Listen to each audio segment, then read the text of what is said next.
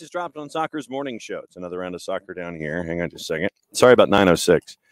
Um, I was trying to load something, and the rundown for the morning is a little jumbled, but it's still pretty much the same. Uh, Bart Keeler joining us in hour one instead of his traditional hour two visit here on Wednesday because the real world has decided to tap Bart on the shoulder and go, bruh, need you uh, to do something in the 10 o'clock hour. So Bart joins us in the 10 o'clock hour as I put my caffeine down for the morning, at least for the morning show, not necessarily for the morning.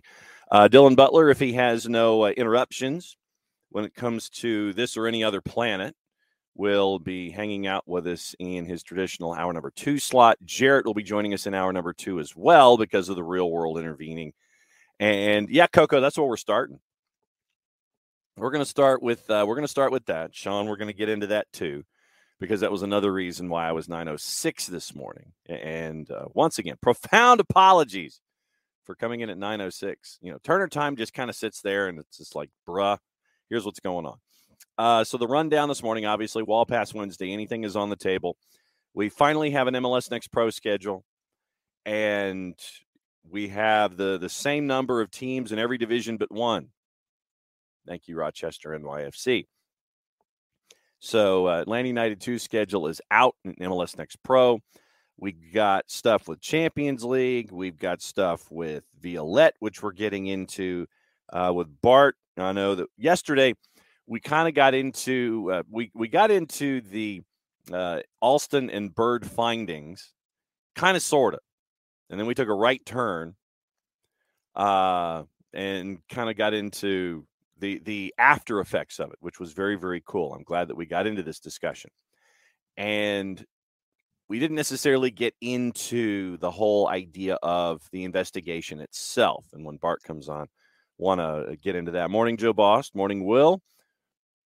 And see who is in this morning. Morning, Parslow. Good to see you at the match the other day. Uh, morning, Sean. Morning, Coco. Morning, Alex. Morning, Ricky. Uh, let's see. Uh, yeah, I think that's everybody so far, at least who has waved and said hello. Yes, will absolutely. You will be seeing folks on September 10 and June 23, and so uh, good to finally get a schedule out to know what's going on. And so I have, as as as you guys know, for those of you who are watching on Twitch, I have my schedule. Hey, I have my desk schedule here, and I got the chance to fill out with uh, everything involving MLS Next Pro. Finally, got the chance to fill out the schedule at least into August and September. So you know it's a bit of a bit of a slow start, but we finally are getting the grid squared away. We've got Open Cup coming up. We've got Tormenta coming up. By the way, Tormenta will be on the show tomorrow. Yeah, and the rules: pick your opponent in the playoffs. How about that? Pick your opponent in the playoffs. I mean, MLS Next Pro, they're trying to figure out ways to to kind of draw your interest. So yeah, I pick you, and then you end up losing. How's that going to hang with you? Uh, yeah, and I saw, yeah, Will, I did see that you guys had uh, your your matchup against uh, Cincinnati, and uh, morning, Sam. So uh, we're kind of once again. I know this will surprise you on a Wall Pass Wednesday. We're kind of all over the place. So whatever you guys want to talk about within, uh, you know, within the parameters of what we're going through, like I said, uh, Bart will join us in hour one. Jared joins us in hour two. Dylan joins us uh, in hour two if he's not thrust upon uh, the real world. So we got that.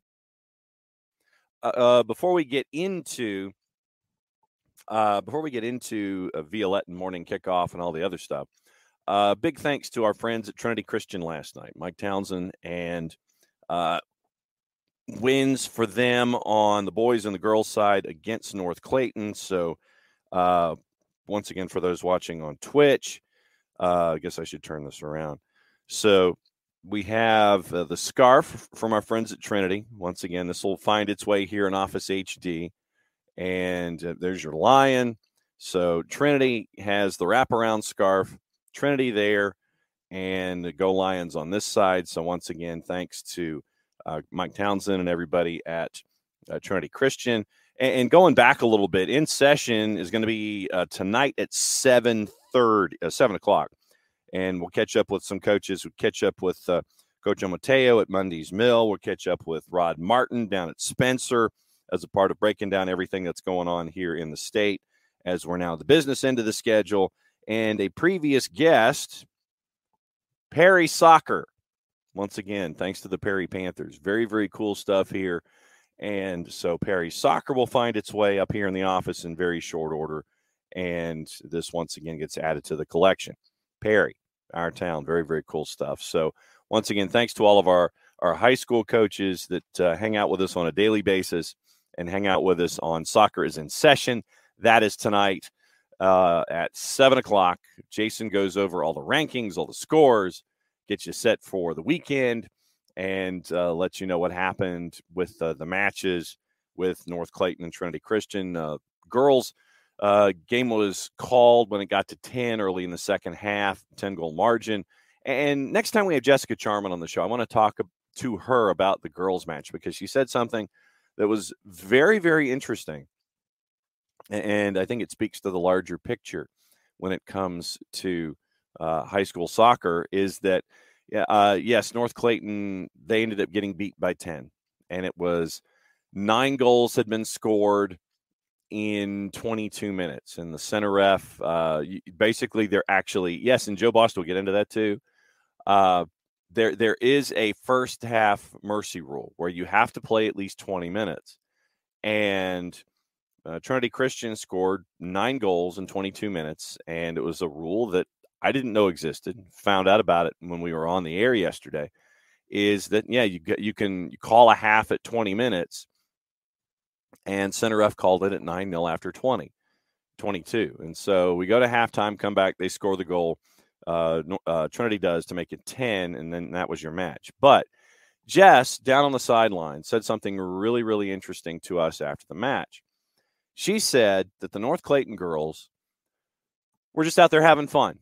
Yes, they yes, Trinity Christian was was you know putting the ball in the back of the net very, very quickly, had a lot of goals in bunches. And the North Clayton girls, despite what was on the scoreboard, were having fun. They're they're eh, they were enthusiastic. They were smiles on their faces, and I thought that was really cool. And so uh, I want to get into that with Jess next time she's on the show, just about what we saw out of the the North Clayton girls. Eh, where I know a lot of folks would sit there and look at the scoreboard and go, "Wow, it was a you know it was a 10 0 game," and they call it after 24 minutes of action. But the girls from North Clayton had smiles on their faces the entire time. They were having fun. And I think that speaks to the larger picture of what's going on with high school soccer. So uh, I want to catch up with Jess about that. Uh, boys match had a 3 0 win for Trinity Christian. It was 2 0 for a lot of the match. And then, second half, with about 20 minutes to go, third goal went on the board for Trinity Christian. And the, the air just kind of got taken out of the match at that point. So, big wins for Trinity Christian in, on the boys and girls side last night against North Clayton in region play in, in Region 4 Quad A. Friday, we will be at, at Archer for the Brookwood Archer doubleheader. Right now, 530, 730 on the SDH app, SDH network. And on the girls' side, two teams ranked top 10 in 7A. So we'll catch up with that. And uh, big game in region play with uh, Brookwood on the boys' side. So far, they're at 6 and 0 and Archer is at two and two. So Archer is at three games back. They need to get the win if they're going to try to close the gap and, and make sure that they're going to find their way into the postseason as one of the four seeds in their region. So we'll sit there and we'll look at that. But Brookwood and Archer on Friday, doubleheader at Archer. And thanks to uh, our friends at Archer High School for letting us come out on Friday. Thanks to our friends at Trinity Christian for letting us come out last night for Region 4 Quad A action with North Clayton uh, wins for Trinity Christian on both sides. So, uh, soccer down here games of the week on the high school side. You can catch those on uh, what am I what am I trying to say? Soccerdownhere.net website, website and, and app. You can download the app available on iOS and Android. So uh, Joe Boston in that same vein. In Jake's middle school match last week, apparently the opposing coach asked our coach not to mercy rule them so their kids could play a full match and a hat trick for Jake in the first half. That's interesting. Um, so that's uh, that was that's your high school stuff. Once again, thanks to our friends at Perry and Trinity Christian for adding things to Office HD. Got to figure out where I'm going to hang them so you can see them on a daily basis. But uh, no, but no. Once again, thanks and once and Uh, also, thanks to those of you who so far have picked up the uh, Jessica Charman Olive and York t shirt with proceeds benefiting the uh, Anton Walkes Foundation. So far, at least $300 after the first day, $300 on the board heading to the Anton Walkes Foundation for the most obnoxious voice in sports radio, Jessica Charman. So taking taking something like that and turning it into a, a donation for the Anton Walkes Foundation. You can go to Olive and York or go to Jess's Twitter uh, at Jess Talks Footy and get more information on it. But yes, uh, I believe they're still printing the T-shirts. We have one coming to Office HD, and we will wear that with a great source of pride. Uh, yeah, I know, Sean, exactly. Uh, what it does, uh, Sean, Sean, you want to know what HD stands for? It's better than uh, than SD. Yes. So uh, what it stands for is that large television over there. That's what it stands for. The large TV over there is in high definition. So that's what it stands for. Uh, all right. So opening kickoff brought to us by our friends at Kickoff Coffee, kickoffcoffeeco.com. We got a couple of different things for, for kick opening kickoff this morning. And there's your QR code, blocking my face, which folks think is a public service for those of you who are watching on Twitch. Uh, kickoffcoffeeco.com and Kickoff Coffee CO on all your social medias Facebook, Twitter, and Instagram. Don't forget to use the code Soccer Down Here 15 and you get 15% off of your purchase. And they, in turn, at Kickoff Coffee, will sit there and invest 10% in youth initiatives. Very, very cool stuff from our friends at Kickoff Coffee and kickoffcoffeeco.com. So, all right, couple different things this morning. And we can start with we'll start with Violette because Violette let me see if I let me see if I have this correct. And obviously, Twitch pitch, correct me if if I have anything that's out of kilter here. So, for the match last night in Austin at Q2, which did not look like it had a full house, by the way, for the second leg in a very very important round round of 16 for uh, Con- Con- CONCACAF Champions League. Yeah, Coco, we're kind of getting, or yeah, we're kind of we're kind of getting there, but it, it won't be necessarily pointing and laughing. Uh, lineup gets released an hour before the match, and it literally is your starting eleven and three substitutes. And we mentioned yesterday how Violette is working connections in the NPSL, specifically at FC Motown. And they grabbed, I think it was four players from a combination of FC Motown and connections that they had here in the United States. Because seven players weren't allowed in because of visa issues, whatever those issues were. Uh, they were not they were not uh, divulged, but seven players couldn't make it through. Coaches couldn't make it through. So you end up with with the connections here in the United States through the NPSL and we should probably catch up with our friends at FC Motown to, to find out what this process was like. But you ended up with 11 plus three substitutes. Austin scores twice, but they can't score the third. One of the biggest, if not the biggest, upset in the history of CONCACAF Champions League happens last night with Violette advancing to the round of eight. Folks were sitting there and trying to figure out okay, what's the uh, the significance of all of this? And I mean, Violette survived. They were down. I mean, they were down 2 0 in the match. And you go 12 minutes of extra time, surviving that, winning 2 0 and advancing. 14 players available, 11 plus three.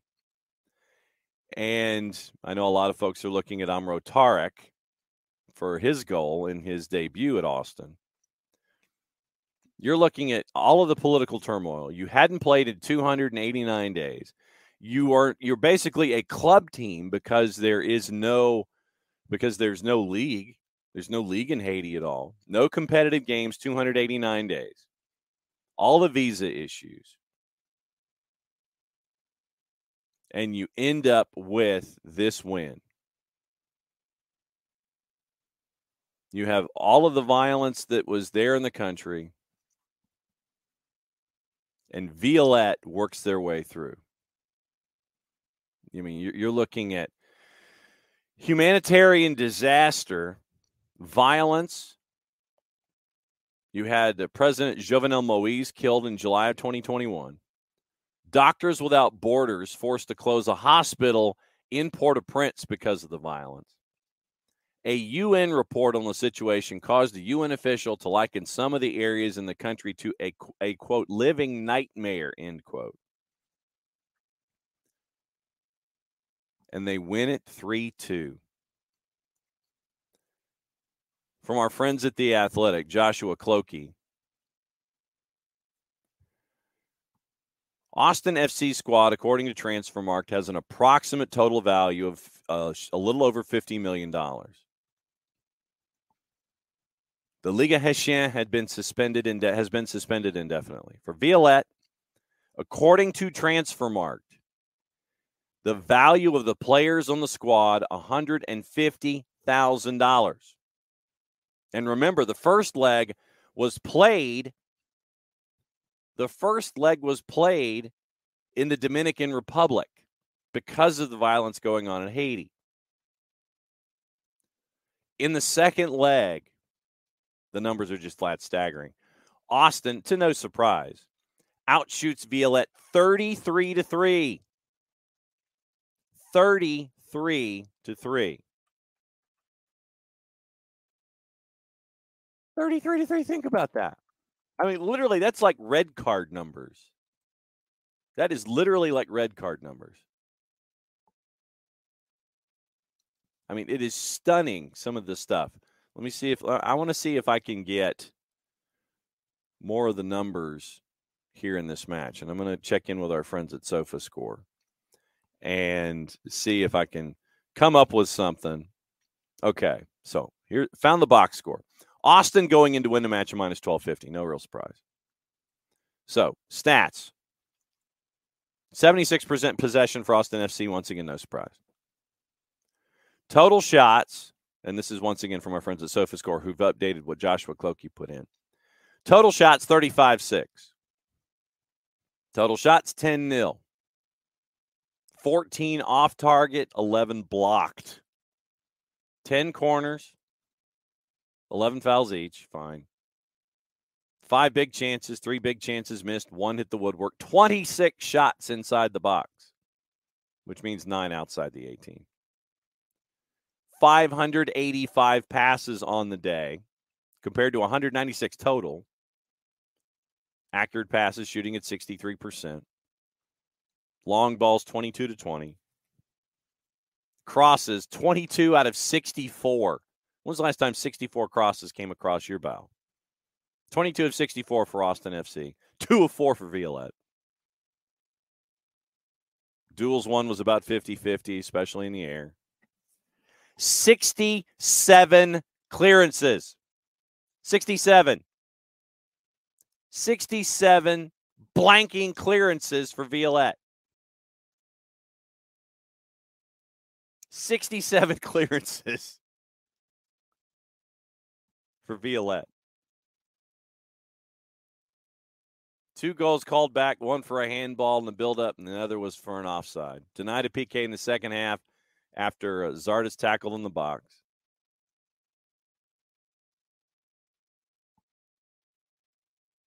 I mean, this is in the, the first leg. It's just absolutely crazy.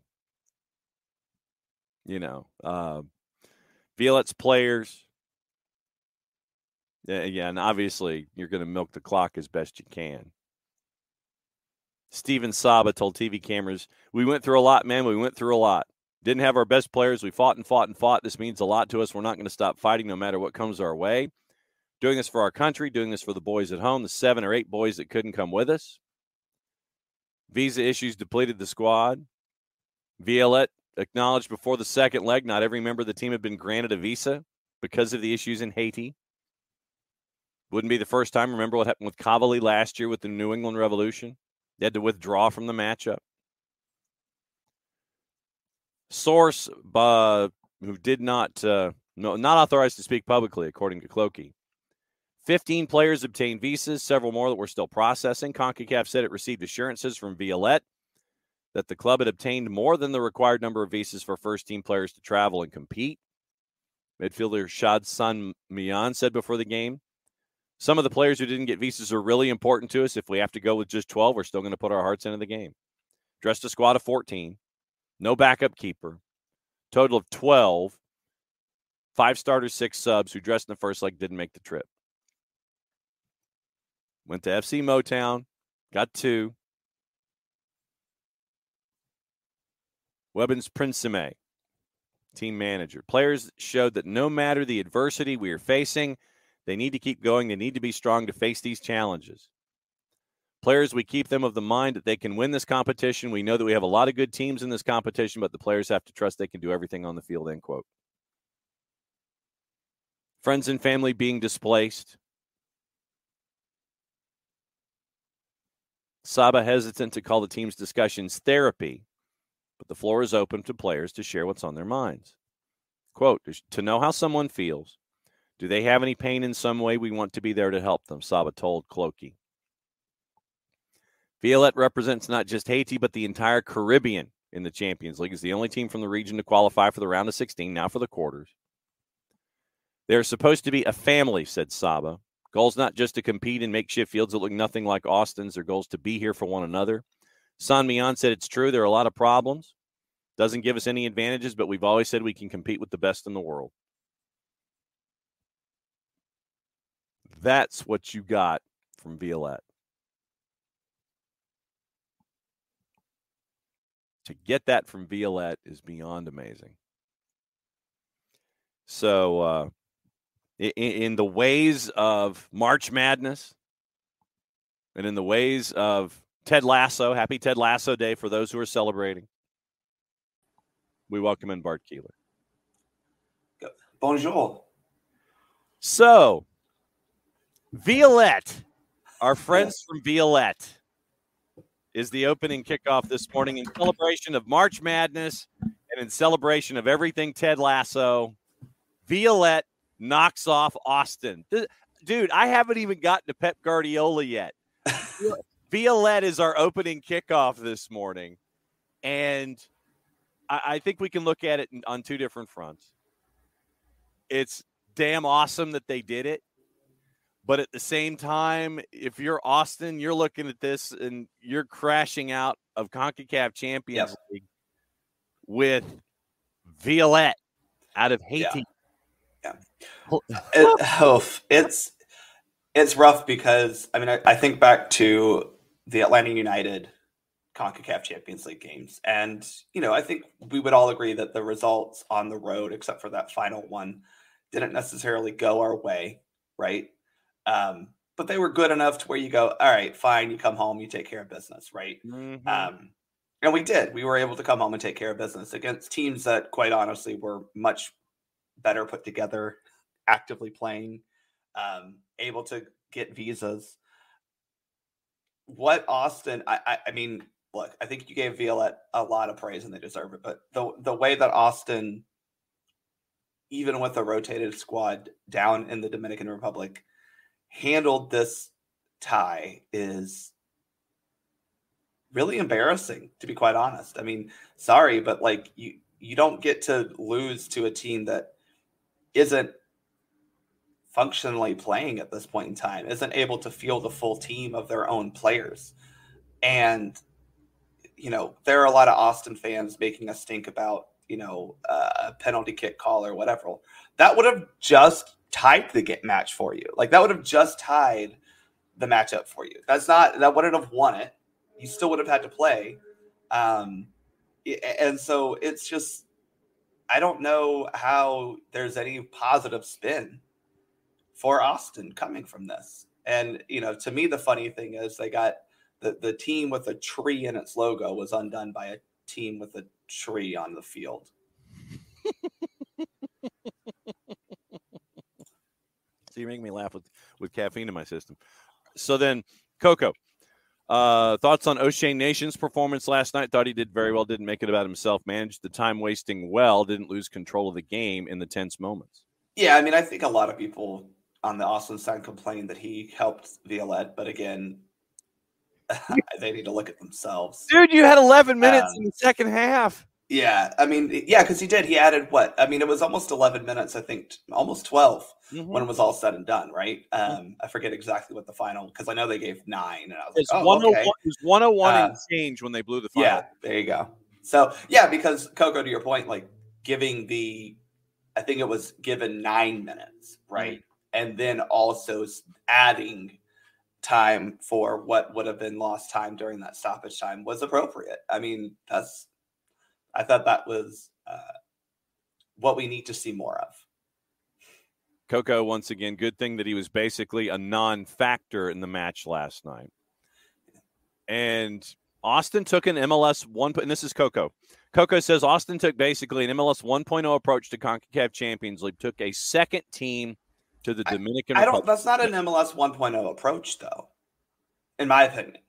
I think that's a, a smart approach to a competition against a team that, quite honestly, your second team should still beat. Like, mm-hmm. I'm sorry, mm-hmm. that they're like our MLS Next Pro teams should be able to handle Violette in a yeah. two-legged playoff. Mm-hmm. You know, and I don't think that like bringing a rotated squad down to Haiti was something bad. I really just don't. I'm sorry.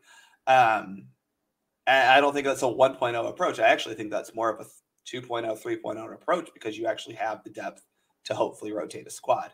Uh, it just didn't work and it, it, failed miserably. And part of that is tactics from Josh Wolff. You know, I, I, think sometimes you have to realize that you can't always play the first team strategy with your second team players because they're just not good enough. And Amro Tarek um, can't have a, an own goal the way that he did, also. That and that that's absolutely right as well. I mean, the, the, it was a spectacular finish. Absolutely, still an own goal. Um, I, I I think that it's it's right to criticize the performance. I don't necessarily that like I don't think that bringing a second choice team was necessarily the bad approach because I mean, how many John, how many Premier League teams do the same thing in a Europa League yeah. matchup? You know, I mean, if it's Champions League, sure.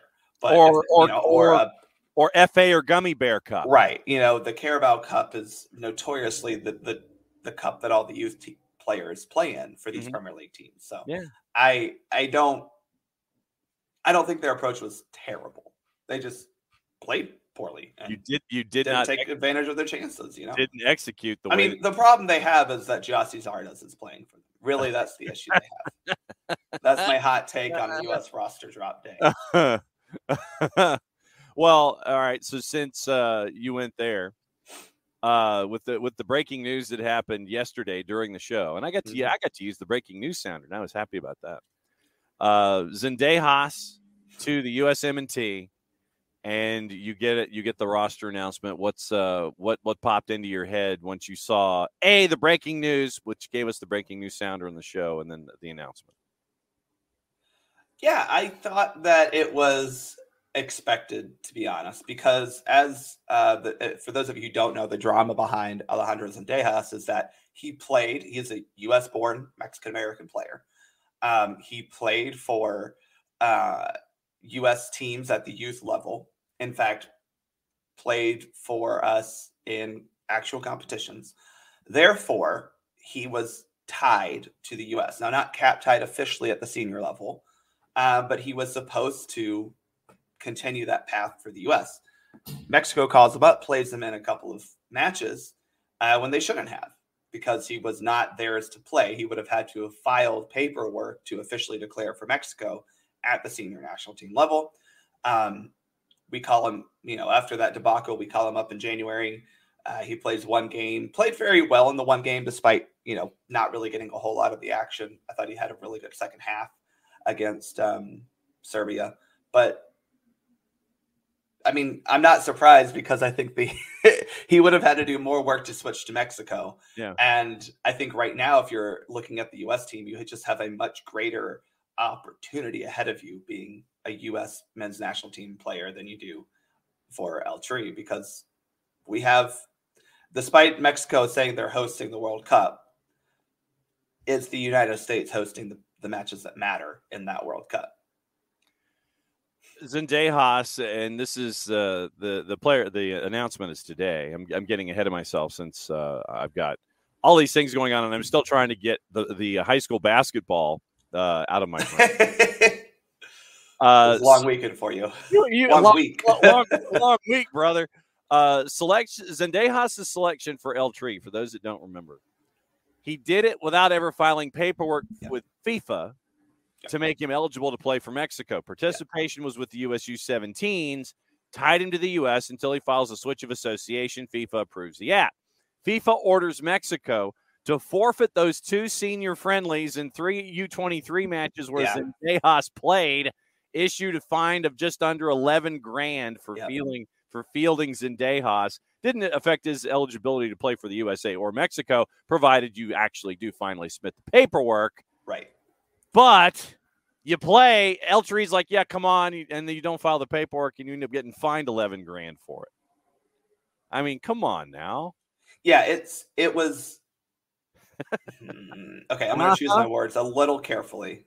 Uh-huh. choose them carefully. Wait, what? But it's another example of the Mexican Football Federation not truly respecting the players who they're trying to recruit. And I think of all the things that Greg Berhalter did very well during his time, which I'm sure we will get to that. Sure. Um, I think that he did a great job of letting the giving the players all the information they needed to make the decision without pressuring them into making a decision. Um, and I think Zendejas is another example of Mexico being a little bit predatory in their recruiting practices, while the U.S. just said, "Hey, you want to come play? Okay."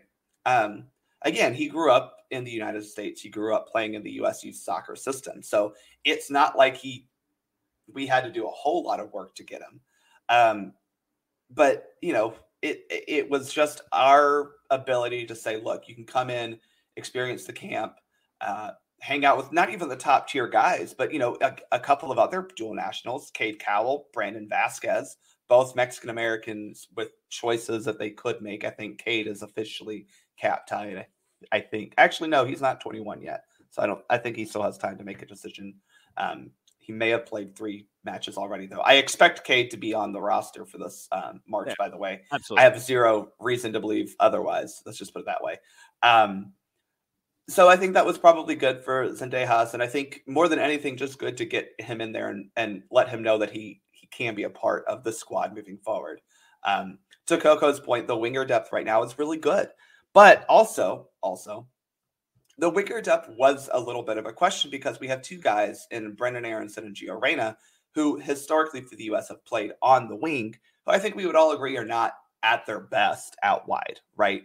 Um, Gio is obviously a very talented player who can probably play anywhere. He plays out wide for Dortmund all the time, but I think we all see him as more of a central attacking player.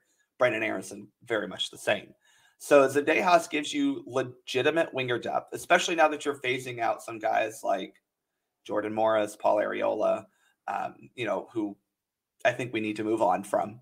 And he sees himself as an opportunity to fit in there. When you look at this upcoming impending announcement, what would what would surprise you when it because I, I you know we can get we can get locked into names if you want, but what would surprise you and what would give you reason for pause even though these mm. matches are just kind of out there there's nothing really... i don't want to see paul arriola jordan morris or cristian roldan i'm okay. I, y'all know how i feel about cristian roldan i think he's the most overrated player who's ever stepped foot in mls that's actually not true but he's he, he is widely overhyped for just being a guy who seems to be nice which i'm sure he's a very nice person um, but I don't want to see those MLS guys in there because we have younger MLS talent that I want to see. I mentioned Cade Cowell, Brandon Vazquez. Um, you know, in, in the midfield, I, am hoping we see um, Djordje Mihailovic, Taylor Booth, I, Cristian Roldan holding spots on the roster. Roldan, Arriola, Morris. It, it's not going to help us take that next step because we've seen what they can provide the United States men's national team. Um, we need to f- find better talent, and and I think it's out there. Um, but also, you have a guy like Cade Cowell who's seven to nine years younger than both Morris and Arriola, um, who plays a lot like both of them, but has obviously again nine years to learn and be hopefully better than they are. And I would rather take that bet now on a Cade Cowell type player than another appearance by Paul Arriola where he doesn't really produce anything. Um, I love the phrase about Paul Arriola. He's always danger adjacent, but never actually dangerous. Can we use that as a hashtag now? Danger, yeah, danger adjacent. adjacent. That is uh, the Scuffed podcast, uh, their original. All right. Since you, since we we are in this realm, since we are down this aisle of the grocery store, it's not quite frozen foods, and it's not quite the snack aisle but we are going down this aisle here in the grocery store, uh, the grocery store of soccer. All right, since we're now in the discussions about the men's national team. Alston Bird came out yesterday. And or was it day and a half ago, two days ago? It's, it's like it all runs together now. Yeah, I know. So let's say two days for the sake of argument. Yesterday we got into the larger discussion about the the phrasing in Alston Bird that said that there, and I'm, I'm paraphrasing, just basically that there is nothing that should hold Greg Berhalter back from being considered to be manager to continue being manager for the U.S. men's national right. team. Yes, we will get into the other items as we go here, and I know I've only got you for about another you know 10 to 12 minutes, so this might be more rapid fire than we would like. But let's start with the idea of Greg Berhalter – legally being declared by Alston Bird that there is no reason to hold him back from being considered for the men's national team job. Yesterday, we went down the national team rabbit hole trying to figure out who it could be, who it should be. After Alston Bird came out, I doubt very much changed in your mind. I think I've said pretty clearly that I didn't want Greg Berhalter to get a second go at it as U.S. men's national team manager, not because I think, and that was before this, right? Mm-hmm. That was before this, even the World Cup ended, just because I don't believe in two cycle managers at the right. national team level, especially if you haven't really won anything, right? right. Um, and I think the U.S. is in that weird. Uh, we're in that weird situation where we're good enough to accept, expect better, but still not quite at that level to feel like we should have done better. Um, we're not Canada, right? Where uh, John Herdman was clearly building something. Like I, I think, I think Berhalter was building something. I, I, really do. I don't necessarily think that it was a successful team, but it was a good team. Um, and I think that Berhalter did good enough to look back on his time as the U.S. men's national team manager with a positive light. Right, he had a very good win percentage. Um, he beat Mexico many times. Um, I don't think he was really ever challenged uh, outside of playing Mexico and Canada. Um, you know, we we struggled on the road in qualifying, which I know we always do, but we finished third overall in the qualifying campaign this time around, which despite being, I think, better than Mexico, Mexico finished better than us, and Canada finished first. So I think there are ups and downs to the Berhalter tenure. I think ultimately it ended up being a positive, um, a, a, a good coaching job by Greg Berhalter. But I think that regardless, after this World Cup, you could have just said, "Thank you, Greg, for your service. We're going to move on and try to find someone better." Um, now, I, I though legally I understand that they cannot exclude him from yeah. candidacy mm-hmm. because there's no reason to do that. And I think now you're looking at it's more of a legal reason to say he's still a candidate so that you don't get in any trouble um, or not dragged into court again, which right. I think US soccer is trying to avoid. Um, we don't need to go to court anymore. I, I just I think now would be a great time to look at Greg and go, look, though the though the legalities of the situation do not exclude you from the search we don't feel that it would be the best decision for you to come back into the team given all that has happened. Um, and especially now that you're looking at a four to five month hiatus as manager, it would be weird to come step back in. And I know Hudson was probably continuing most of the things that Greg was doing, but he's a substitute teacher. I don't think Yeah, I just don't think it would make a lot of sense for Greg to come back at all. And I, but I felt that beforehand. So I am of the camp where we need to move on. Um, I think we can find coaches better than Greg. I don't think they'll be significantly better, but I think we can find coaches better than Greg. And at the same time, you've got to get all of these hires correct in this corporate infrastructure that has to be laid out because you know you're not going to get you're not getting a head coach until you get a sporting right. director and you have the trickle down effects of all of these hires Right. and i know that we're sitting there and we're kind of looking at the we're looking at the bottom of the jenga pyramid here and trying not to pull out the the wrong peg all of these hires that have to be made now you got to get them right. I mean eh, yeah it's 23 and 26 is three years away but there's an ish load of planning that has to be done on a lot of different levels so you can represent this hemisphere as best as humanly possible with this growing squad that is you know eh, that is becoming more experienced that is becoming the the next quote unquote golden generation whatever you know all of the promise that's attached to this group all of these hires have to be right Well, I don't think the sporting director hire matters for this golden generation. And I think that's what the US soccer is finding um, that it's hard to find the right fit for this federation sporting director gig because, and this is going to be what they're going to run into. And you've seen with the player, with the uh, candidates who have turned them down, right?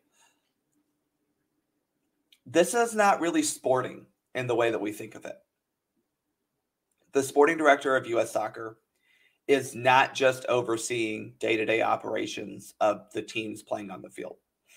And if anything, you have the GMs of both programs who do that, right? Mhm.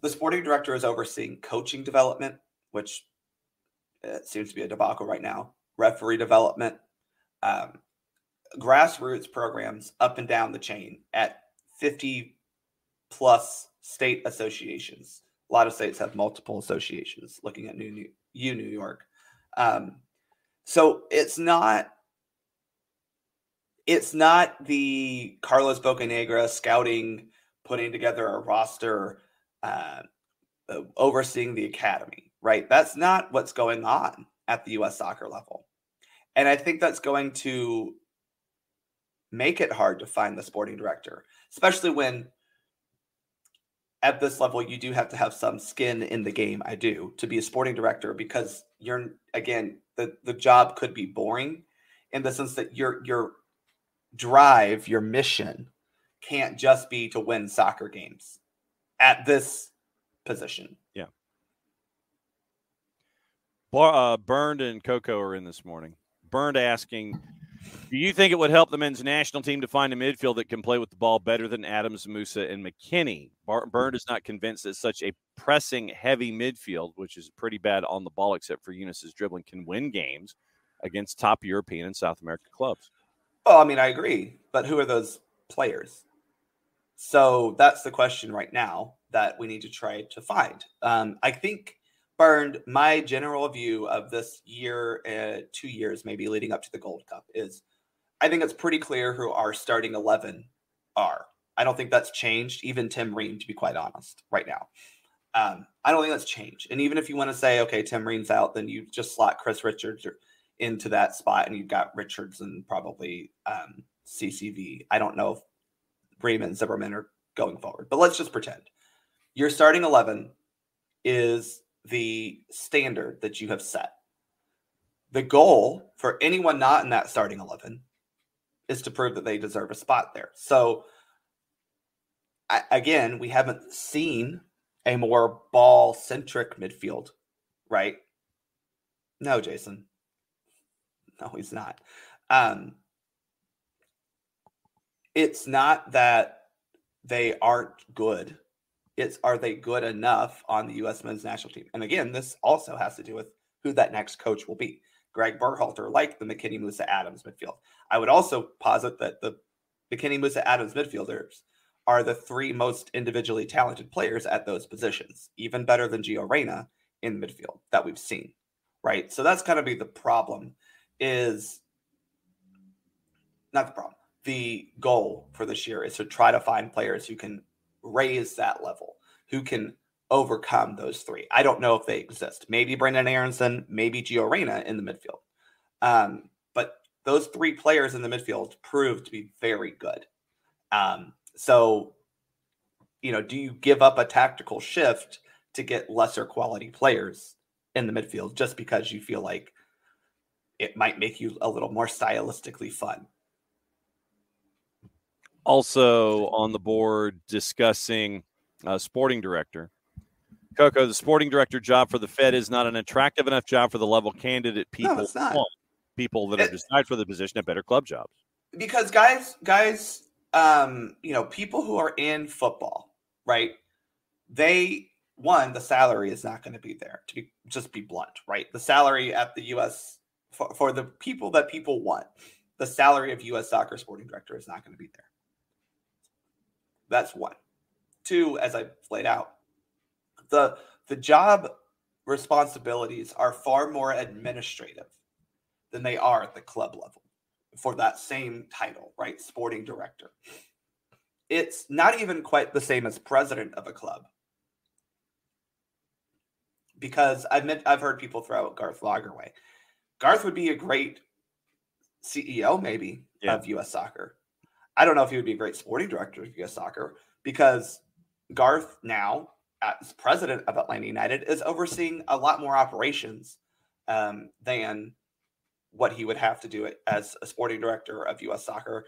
And again, he's overseeing. He's he has more direct involvement with with those, and I think that's what the the drawback for most people is the direct involvement.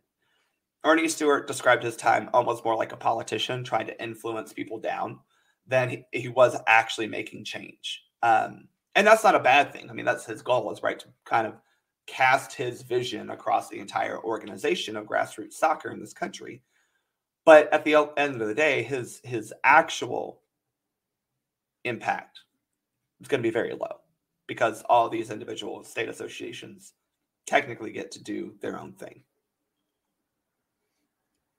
Now that I don't know how much of Alston Bird that you have had the chance to read once again. not all of it.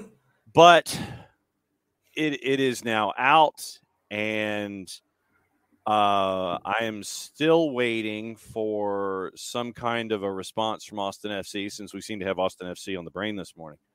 Uh, where Claudio Reyna is concerned.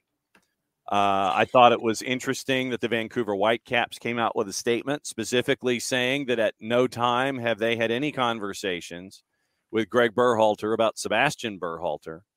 Uh, you could feel that that there was a, a, the you could you could sense that the the light had kind yeah. of diminished at that point. There was a decent amount of shade being thrown. From what you have taken in from Alston Bird in the time that you've got left here this morning, what were some of your larger takeaways? So uh-huh. the first takeaway that I have is that I will again reiterate this really sucks for Rosalind Berhalter to have all of this put into public light mm-hmm.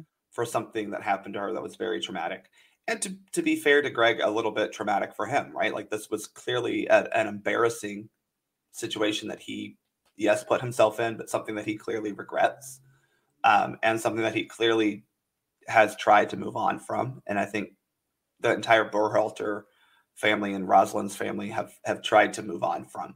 Um, that's my biggest takeaway. Is that sucks for them. Next one is that Claudio and Danielle specifically Claudio with his connections, have abused their namesake and been really just bullies for a number of years. And you know, some people are trying to give them grace by talking about the the unresolved trauma of losing a child, which I fully understand is real, mm-hmm. that they probably still have some leftover unresolved trauma because I'm sure that doesn't just heal no. within a year of no. what happens, obviously. Right. Yeah. But I don't think that is a great excuse for the way that they've behaved for multiple years. This wasn't a trauma induced incident at the World Cup. This is a pattern, not even a pattern. This is a modus operandum of behavior for Claudio Reyna when it comes to the U.S. men's national team, uh, and when it comes to Gio. It it it is. He he, he really made himself look bad. Mm-hmm. They both he did. made look bad. This was not. No one else did this to him. Claudio did this to himself. And, and the other element that I wanted to discuss with you came from uh, PSRA and the comments that Yeah. Claudio Reyna uh, made that were divulged in, in Alston Bird. Uh, Redacted also informed us that uh, Pronoun Redacted received an email from Reyna in and around July 2018 in which Mr. Reyna complained about a female referee in a match involving Gio Reyna. We obtained an email from Mr. Reyna in July 2018 in which Mr. Reyna stated, quote, field referee everything. So embarrassing all the way around, end quote. Mr. Reyna sent a follow-up email that stated, and in all honest, seek. Can we get real and have male refs for a game like this? It's embarrassing, guys. What are we trying to prove? A game like this deserves better attention.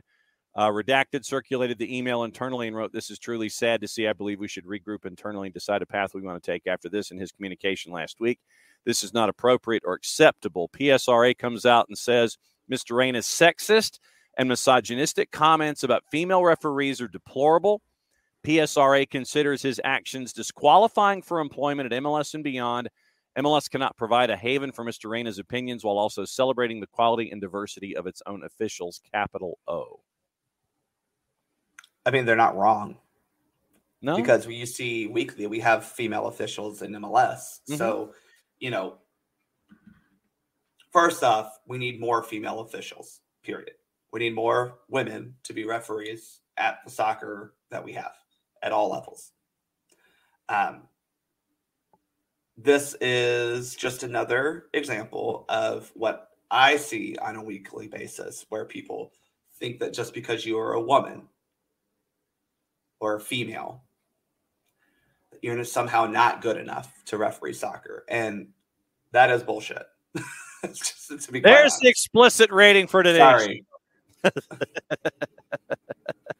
there, I'll do this. No, Sign it- language. yeah, well, yeah, exactly. That's the long. That's the long version, A- and I and I learned that that was the long version. Yeah. After the short, Yeah. after the short for those of us that are on Twitter and on Twitter. Uh, it is. It is. And I'm sorry. That's uh, look. Uh, you can criticize a referee's performance without bringing in gender. yeah, Like you just can.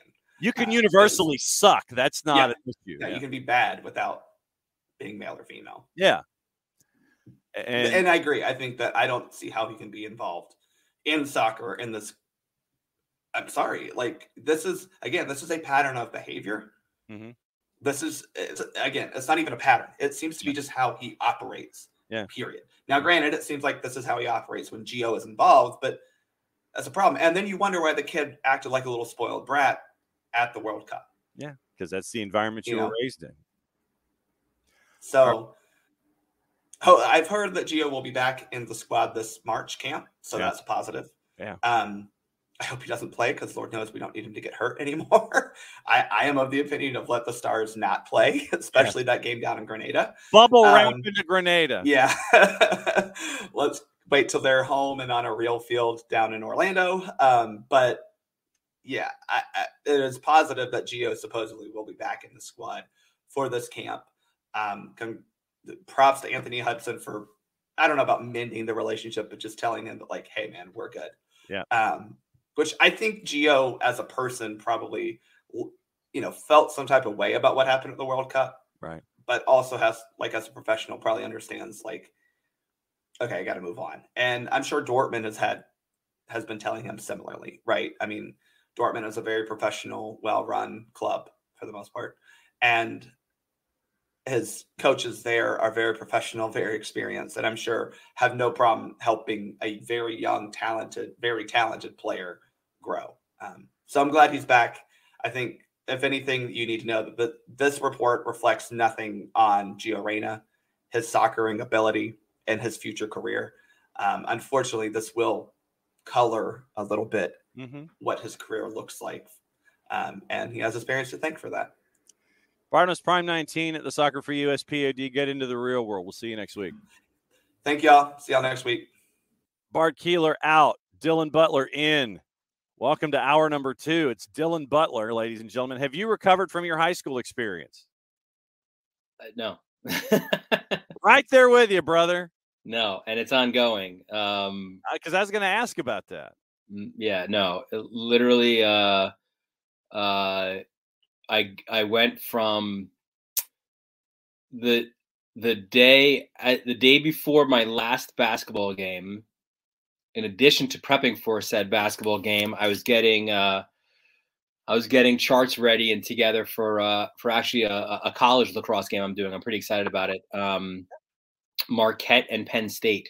Um, Penn State ranked five in the country um, right now. Um, it's a game that's played here on Long Island at MacArthur High School. Last year, um, Penn played Duke in the game, so uh, it's kind of an annual thing where where um, you know two teams from outside the area come uh, here to like the hot you know hotbed of lacrosse. So um, really excited to to um, get to be doing play by play for for for the big one on Saturday.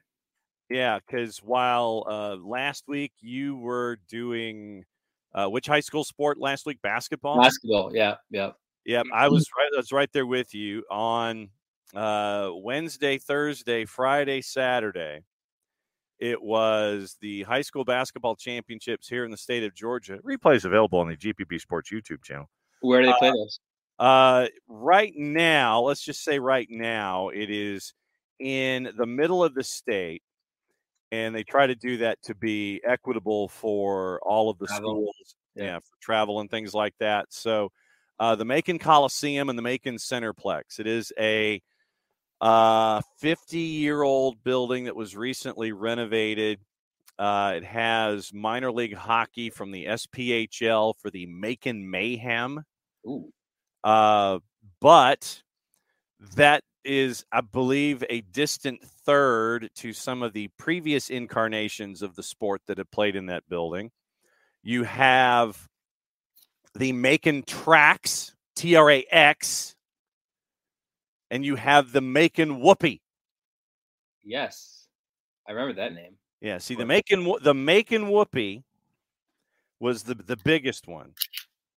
Um, so the the Macon Whoopee, and literally uh, in some incarnations of their logo, a fig leaf what was uh, was was integrated as a part of it for the Macon Whoopee. So yeah, my games uh, my games were at St. John's University, which which was nice, my alma mater. So good to uh, good to be back on campus. Um, um, yeah, no, it was good. It was uh, a great end to the to the basketball season, and now um, you know straight to lacrosse. In fact, last night, um, terrific lacrosse weather here on Long Island. Um, was uh, at Hofstra um, for for USA Lacrosse magazine, doing a story on uh, Joey Spallina and Syracuse coming to um, coming to Hofstra to play a game. I have a, I have a cool one for you um, and the audience because th- this goes beyond um, just wall pass uh, wall pass, right?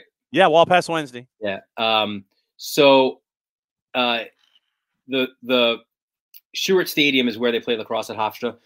the fourth floor is is uh, press box. Okay. You take the elevator down one floor. Um, it's the it's the you know um, highfalutin luxury suites. Yes.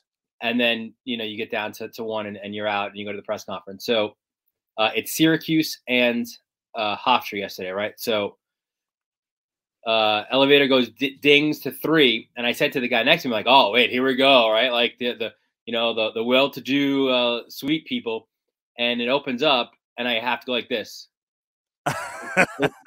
Derrick Coleman. nice.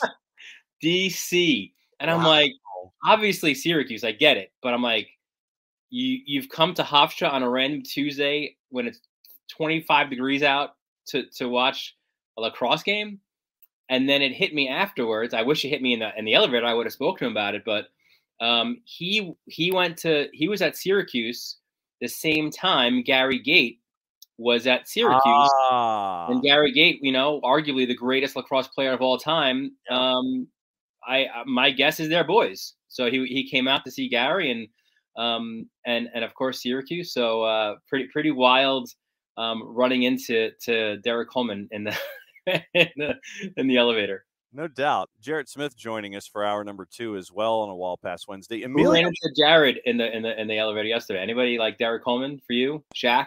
Anyone? no, I mean well, the problem is most of the ones I run into, like I'm already six five. Most of the ones I run into are equal height, except uh-huh. for the time there. There was the time where I did open the door to a Thai place uh, and bumped into Dikembe Mutombo, which was startling. Is that a blocker charge? Uh, I think it was a. I think it was a. Uh, I, I don't know. It, it, it wasn't. It, it would. It would have. It would have ended poorly for me. It probably would have been a. Uh, probably would have been a block on me because I don't think I could elicit a charge against Dikembe Mutombo. Oh, oh, oh, Jared, you try. No, no, no, no. ungodly huge. Like I'm used to being one of the taller people in the room. Like yes. on media, on scrums, I generally like it, it, scrums in Atlanta United's locker room. Like I generally stand behind everyone else because I just stick my arm up and over everybody, so I don't have these problems. And then you see someone who's over seven feet tall, and you, all you can do is go, "Oh, Oh, okay, cool. Yeah, even Derrick Coleman would have to look up to him because because um, when I checked, I think he's he's six ten. So yeah, yeah, those guys like that are just that's just that's just different. Yes. so Emilio with the Walpassian question. Yeah. Emilio is pre Red Storm. What is yeah, a Red Storm actually? Uh, uh, don't get me started. So obviously, look, they, they were the Redmen. Um, it was never meant to be and in in have an Indian connotation um, until you know like some support stat support groups of of uh, of St. John started uh, you know using uh, uh, different things involving Indians. So obviously there was that there was that connection, and then as soon as there was an uproar, they changed it to to, to Red Storm. Uh, it's a great question. In fact, I was at the press conference, um, and by the way, it was never meant to be. Redmen was like Orangeman, like it was just the color that those guys wore. Yeah. Um, which is unfortunate. So anyway, I was at, I remember being at the press conference uh, for Red Storm, and Lou Carnesecca was part of that press conference. He had since retired, um, but you know, you just bring in bring in Lou, right? Because he's the he's the the Godfather there. So. Um, there it was it was the name Red Storm, and then there was a horse, and people were like, uh, "Coach Carnesecca, why the horse?" And then you know, he just he he thought for a second. He's like, you know, horses are horses are uh, virile and uh, they're strong, and they and they can. Um, you, you you need you need that in the Big East. Like it was just he was just. Oh wow tap dancing up there, but it was it was it was pretty funny. So uh, yeah, I'm not a big fan of the Red Storm. I when I was there, I never chanted, you know, let's go Red Storm. Um, in fact, for, for so for for even the school, like they kind of got away with it where they where they rather chant Johnny's, you know, like um yeah. So yeah, it's it's I never understood that decision from a marketing perspective. Um, and then they even got rid of the SJU. Like now it went to STJ and and and St. Joe's in Philly kind of, I guess, took full ownership of SJU. So I don't know. All right, let, let's let's let's talk uh, a little soccer here. If I was to mention CCL Fever yeah. and, and and Violette and Austin FC, we we got two tracks that we can we can talk about here. We could, and that's one of them is what Violette was able to accomplish combined with what Austin was able to accomplish. What line, what lane of traffic do you want to talk about first? who accomplished what they accomplished with this one? Uh, it, it, I guess it depends on eh, what mood you're in. do you want to dunk? Like speaking of Derrick Coleman, do you want to dunk on uh, on uh, on Austin? I guess we could certainly do that. Um, or you know, do you romanticize like in a in a March Madness type of way the uh, the Cinderella story that is Violette, right? So uh, you can go either way. Um, it's funny. I saw I saw an Opta uh, Opta's great with all their tweets, right? And I saw an Opta tweet that said they were the first Caribbean team to beat an MLS side since W Connection out of Trinidad beat the Red Bulls. Uh, I was there for that. Actually, I went to Trinidad. I covered the first leg um, at uh, at uh, what was the stadium? Oh man, I can't I can't remember the name of it right now. But uh, uh, yeah, I, I, was there. I was in for that, and uh, what was it 2009? I think it yeah, was 09. Um, and then the second leg at Giant Stadium, and you just assume right they would they would pull that out. They didn't, and uh, um, that was part of one of their worst seasons, if not the worst season they've ever had. Um, um, but yeah, no. So, uh, and this was even a bigger upset than that because they at least played regular um, league games in Trinidad, right? So, um, yeah, it, it, it's you know you always love whether it's uh, whether it's Champions League, U.S. Open Cup, FA Cup in uh, in England, any any of these type of situations, you, you love the um, the underdog story. Um, so so that part is certainly fun. Um, and what a harsh harsh lesson for Austin uh, in their in their first uh, trip into CCL, right? Like where um, you know you heard Josh Wolff talk about not having the right mentality in the first leg. Um, he did a poor job with as much rotation, which also showed you that he wasn't respecting his opponent. Um, so yeah, I think I think uh, I think a poor job certainly certainly by them, and and they and they paid a they paid a a, a big price by by the embarrassment of getting knocked out right away. Jared Smith for Dylan Butler. Yeah, and, and to that point for that game, uh, I feel like because this is something we saw Atlanta deal with. Um, man, like, God, okay, it would have been 2019. There's something about that, and the three nothing loss on the road where it just it always feels like it's a bridge too far. Austin, and I thought Austin was going to have to score earlier than they did to make it to make it fun, and you know they made it fun. And the the, the, the shot chart on that game, it looks like a bunker that's been bombed for about three weeks straight. But it's it's something about we, we had this argument in 2019 with Frank DeBoer in his first season with Atlanta United that he went down two nothing on the road in Mexico, and instead of packing it in and saying, "Okay, we're down two nothing on the road, nothing good's going to come from this," let's let's pack it in. Let's go home and see if we can knot this thing up at two.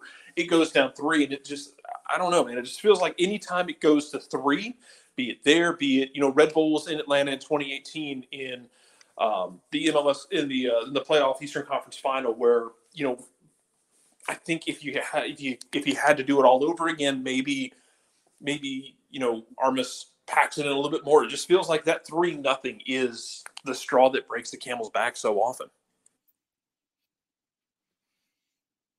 And I mean, when you when you look at this now, Dylan, I mean, it's, uh, I mean, I, I give Amro Tarek a lot of credit. It was a banger in in the first leg, but that's not the kind of banger that you want. the the hangover that you can have associated with something like this I I know a lot of folks. Eh, Bart Bart Keeler, who's on an hour number one, was looking at Gyasi Zardes and going, you know, okay, why? Uh, the hangover that you could have from this, it really could give you a pall for a lot of the season if you don't shake it off quick. For sure, and and two, they didn't. Um, let's you know, their league uh, form hasn't really been great either, right? Yeah. Um, right out of the gate, so um, there is reason to, I think, be concerned early on um, for for a team that uh, I mean, look, right? They were one of the best in, in the West a year ago. Um, made the made the Western Conference Final. Like they were, um, if not obviously for for LAFC in their double, um, you know, they were right there. So for sure, I think uh, um, you know they're still, uh, as you mentioned. I mean, I, I think Josh, I think Zardes should have been or should be an upgrade at that position, but still not.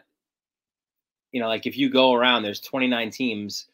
Where does he rank among number nines? Right? Like, I don't think he's in the top 10 of of number nines in the league. So, you know, granted, you upgrade where you were poor last year, but not significantly, right? So, um, yes, that's a, a that's an it's an issue, and also, you know, you put so many uh, eggs into into the Driussi basket, right? Like that's not that's not going to work uh, often, right? Like he, he could have a great season, he could have a couple great seasons, but um, you know he needs support, he needs help, and um, you know they've they've not done a good job of that.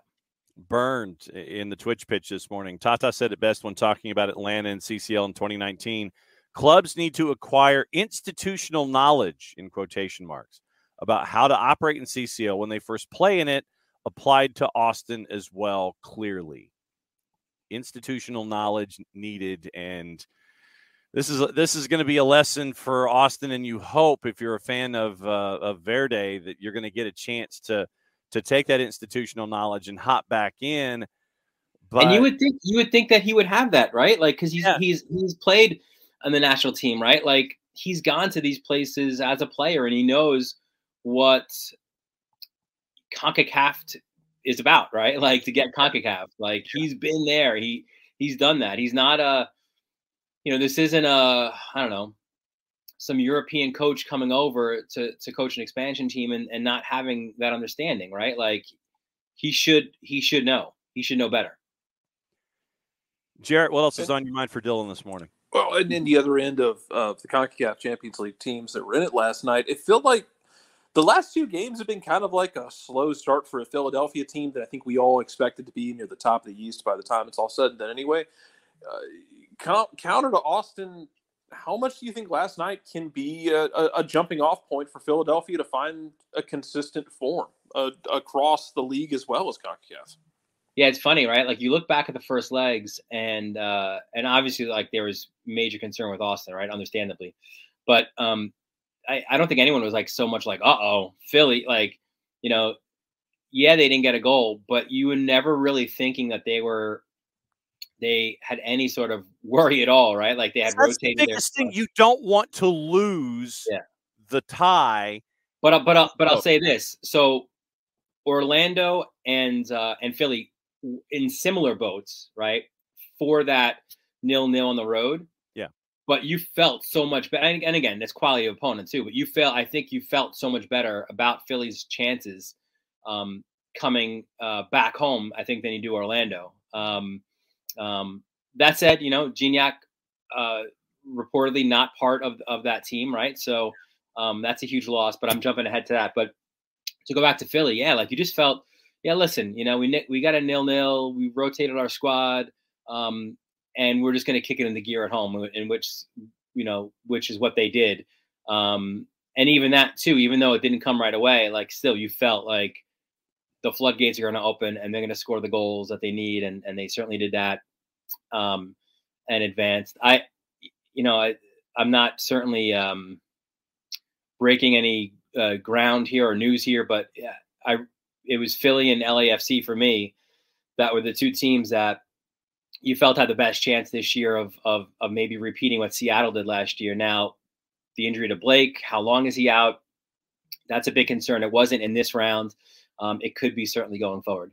Yeah, and that was going to be my next point: is that you're having to do it uh, with uh, hashtag Bendik face in, in, in, in net for Philly, but when you look at league play and that wall that's in front of of Joe Bendik, the the concern both in uh, in uh, competition here in this hemisphere and in Major League Soccer, you're not as concerned. And I think that uh, Jim Curtin said that it was not a long term injury for uh, Andre Blake, uh, speaking in very very Stanley Cup coach uh, overtones.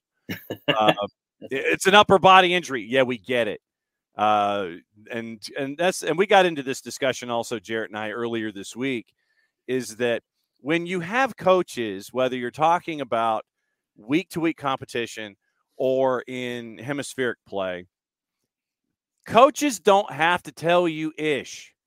They don't have to say word one about injuries. And I know that a lot of folks get wrapped up into this notion of, I need every piece of information given to me about my club so I can, you know, and about the other club. They don't have to tell you a bleeping thing about players, especially with a Philadelphia club that is trying to repeat in the Eastern Conference. Why give advance intel to your opponents about a length of time, about an injury for one of your most key players? Why even do stuff like that? But we found that it's not a long term injury in quotation marks. And yes, I just did use air quotes from uh, Jim Curtin referring to Andre Blake and having Bendik face in net for the foreseeable future. You, you do wonder though if that if that's going to change um, the sharing of information, I should say, is going to change in the near future with so much of um, of betting, you know, at the forefront, right? Like, um, I, I still think there's going to be a back and forth, and there's going to be a, a push pull with with coaches not wanting to show their hands, or or you know, like you see this a lot too. Like they release a they release an injury report on like Wednesday, you know, yeah. and there's still there's still three days of training left before they play on Saturday. So I I I could give two royal rats, knowing that information is going to be at a premium anyway, and if and if my club is sharing information, I don't care. I know the guy's injured. I know that there's depth available or that there's going to be an issue. Why should a coach have to divulge information if they don't have to when it comes to competition? Yeah, no, I I'm right this, there with you. I mean, you you can want them to, but yeah, yeah. They're, they're, only gonna they're going to do what they're forced to do. So if they are forced to divulge information, yeah, they're gonna they're gonna they're gonna they're gonna do it within the boundaries of the rules because you know, we we ran into this. I think I it's think one of the one of the if you want an excuse from if you want oh, not an excuse if you want an example from like Atlanta, well, you ran into this a lot with Ezequiel Barco where you didn't want to give information when he was dealing with a leg injury because you you wanted to be careful about how much he was going to be targeted. Mm-hmm. And yeah, because guys are going to target guys are going to target guys who are banged up, especially guys who can be game changers. So that's not that's not breaking news for anybody. No, it's it's not when when you sit there and it's like okay, I know that that guy's the number one gun. I know the number one gun is dinged up. To what extent is he dinged up? It's an upper body injury or it's a lower body injury if I'm a coach, that's all. If, within the parameters of the guide rules, the guideposts, when it comes to the rules, I'm treating it like Stanley Cup postseason. It's a lower body injury. It's a game day decision. That's how I'm doing it. I have satisfied the parameters of what the league needs me to tell me. I mean, am I wrong, Dylan? I'm not. It's like I'm I'm going with what the league wants me to say. It's a lower body injury, game time decision. We don't know yet. Listen, if the uh, speed limit is 55, right? Like you you, you get in within 50, you know, to 65, 64, you're good. Yeah. Right. You're, you're right in there. You're right in that window. Mm-hmm. Uh, I haven't had the chance to really catch up with you about uh, about Alston Bird. Uh, and, and now that we finally have the the revelations out of that investigation, the three months that they took to pour over every piece of information, when it comes to the Reynas, the Berhalters, U.S. Soccer, when you've had to digest Alston Bird, and I know that it is a, it is basically the soccer investigative version of War and Peace. What are some of your takeaways from Alston Bird now that it's out? You know, it's funny. I I uh, I mean, I've got I, I haven't I haven't read uh, it completely. Um, no. To be honest. Um, but look, it's it's not all that different. It's a, it's a bad look. Uh, it's a bad look for the Reynas. Um, uh, it's a bad look for U.S. soccer. Um, it, it's just that there's nothing good that comes out of it, really, right? I mean, that's for for me. Um, nothing that's that um, emerged from that. I, you know, I'm not surprised, and and and I don't think there are any any big re- uh, revelations other than just kind of details that we didn't have before, like specifics in in terms of um, you know text messages or things like that. So uh, I, I am just looking forward to to the point where we could kind of move on from from that whole uh, uh, telenovela of of the Reynas versus the Berhalters versus U.S. Soccer and um, yeah, I I, I think uh, and I think you spoke about a little bit in the last hour, but I just you know I I I, I feel bad for Gio Reyna in this situation, right? Because you know if you put yourself in his shoes, right? Like he's still young, right? He's still a kid. Um, he's he's he reacted as probably a lot of kids would.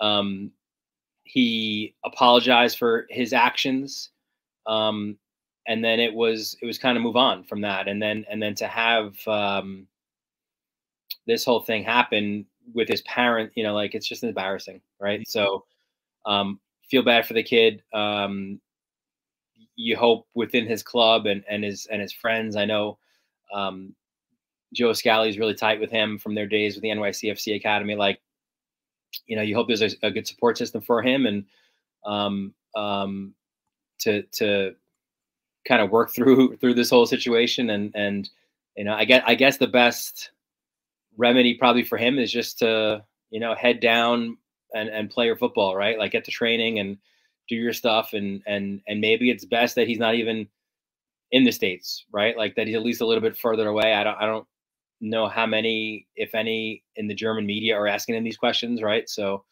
um, um, but that, but yeah, my biggest takeaway from that is uh, embarrassment uh, overall, but really feeling um, for feeling bad for for Gio, who again acted as a kid, um, and then the adults in the room just didn't do their part. Jarrett, go for it. No, and I, I um, don't. I'm glad to go to that because that's that's where I was yesterday when we were discussing this. Was if you know the issues with his parents and the way they've acted aside, if that's what he's you know been used to growing up, I mean, it's a matter of product your environment. Um, and I'm glad you bring up the the issue at the World Cup and how he dealt with it because it sounds like, from my understanding, that he dealt with after the team spoke with him and after they explained everything to him that he did everything he he should have done. Got on the field in the last game. They had a come to Jesus meeting with him and things got better and he took that positive step and hopefully he's able to do it but it, i mean on top of the usual pressure of being um, you know a, a, worldwide soccer player who plays for a national team and is has high expectations to have even more drama and chaos thrown on it i hope it i hope it doesn't mess with him too much or at least that he's got people he can talk to and you know therapy whatever it may be that he needs to to make sure that it's that it's not inhibiting not just his playing career but his personal life. All right, we got uh, last question on the board for you. You want to talk about some actual games, Dylan, this weekend? uh, sure. That we got, you know, when it comes to this grid coming up this weekend, you've got Red Bulls and Columbus at RBA, NYC and DC, Purple Team in Charlotte, Toronto, who has no Insigne, no Dio, no Acco, uh, Ionola. So they're in trouble at home against Inter Miami. Uh, Dallas and KC. You've got a Copa Tejas with Houston and Austin. St. Louis. We haven't had the chance to talk about St. Louis City SC. They've got a home match against uh, San Jose, Colorado, Minnesota, LA, and Vancouver. What sticks out from this weekend? Yeah, start with the start with St. Louis. Really, I mean, um, they're chasing history, right? Where they, um, you know, the only the only other team in um, MLS history to start an expansion season um, 3 0 was Seattle. No team has done that 4 0. So that's what they're chasing at home um, against the San Jose team. That's been better. They've had a lot of late drama, as has St. Louis.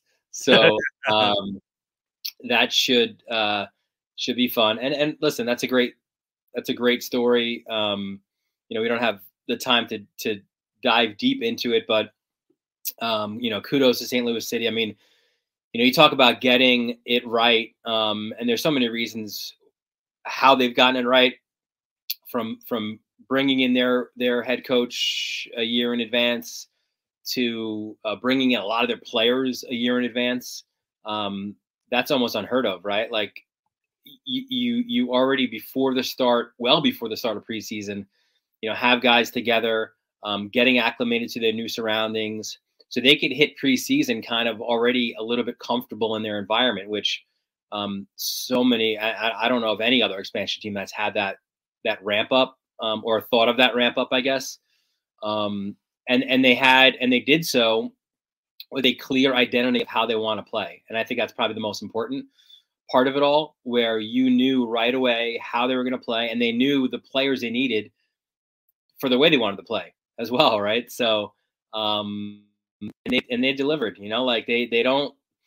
Um, look, they're gonna hit their they're gonna hit their their their speed bump at some point, no doubt. Um, but they have not looked the part of an expansion team, and I think that's been uh, that's been a, a a revelation. It's been a it's a it's it's been a fun. They've been the storybook, uh, uh, or they've been the feel good story of the of the start of the season. And then the other one is you know that early kickoff with um, Seattle LAFC, LAFC. That should be um, a lot of fun as well between uh, an LAFC team that like you know they see St. Louis's start like well hang on you know I know you know we haven't played you you might have played one more game than us but you know we're gonna go and bang in three more goals and four more goals and um, uh, they've looked you know they've they're in mid season form um, and you hear a similar thing too from from Cherundolo too, right? Where like they know they practice exactly, they know how they're supposed to play.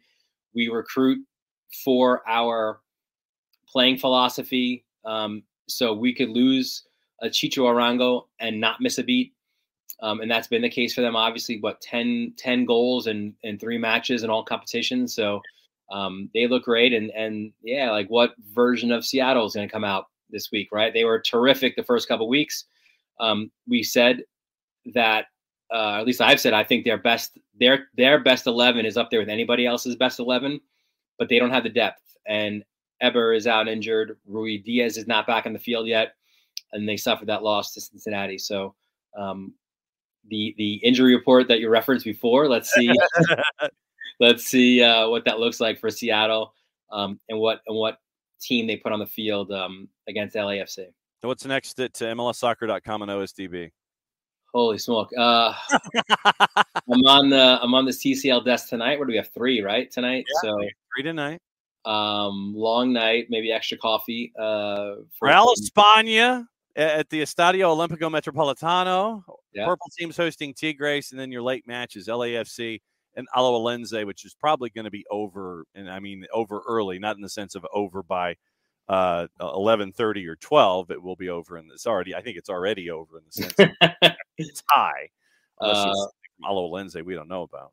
For OSDB, I'm going to speak with uh, one of the St. Louis guys, uh, the, the, the winning goal scorer last week, Kyle Hiebert. Uh, Hiebert. So um, that should be fun. Uh, going to do a story on him and and. Um, it's funny. He was one of those guys who was in too, right? MLS uh, next pro guy a year ago, and thrust into the starting lineup, scores the winning goal, right? Like a like a cool sort of um, story uh, as part of that. And and uh, as I mentioned, Marquette and Penn State lacrosse on Saturday on uh, on Varsity Media's YouTube channel. So there you go. And uh, the seven year college plan. It's the the Blutarsky College plan for Kyle Hiebert.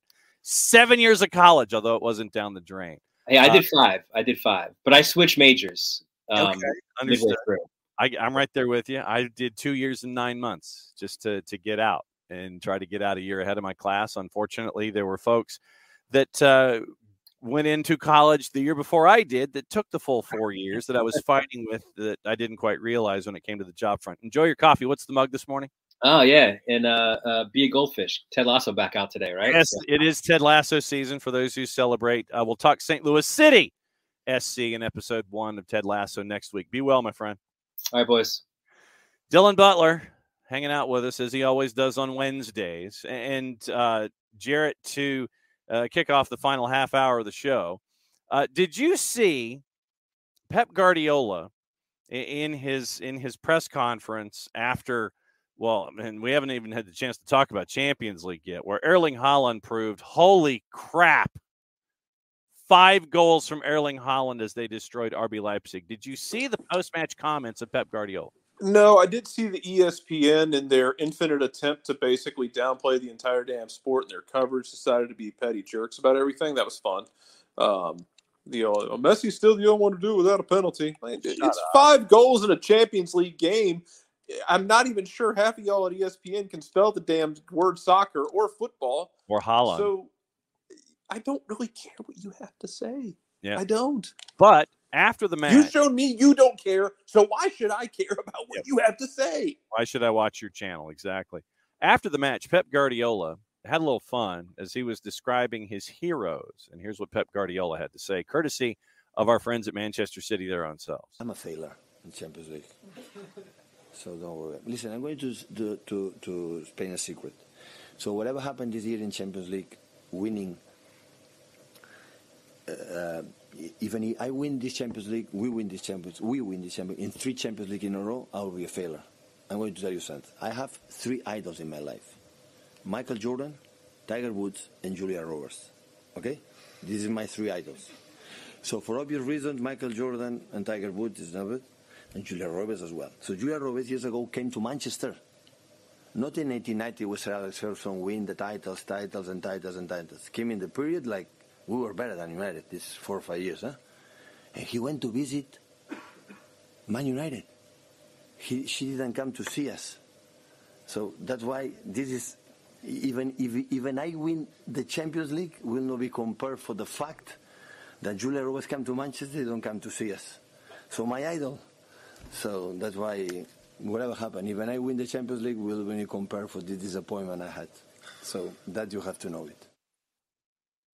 So Julia Roberts is one of Pep Guardiola's idols. I didn't know Pep had a connection to Smyrna that strong.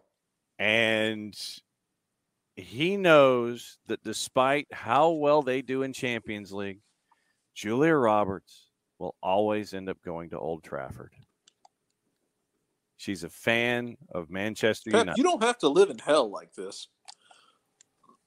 So he he was completely and totally just downtrodden, discussing that one of his heroes. Although I could probably guarantee you that the other two, the other two could probably go to the Etihad in short order and have no problem doing it. But that third one, Julia Roberts, seems to be the idol that is hanging over Pep Guardiola's head the most knowing that how well he could do in Champions League, no matter how well he can do in Champions League, Julia Roberts will never be a fan of Manchester City. Why are you going to give me this ammunition that when Pep Guardiola inevitably comes to the United States, I would guess to coach uh, New, York, New City. York, City, yeah. that of freaking course we're going to have Julia Roberts come hammer the spike.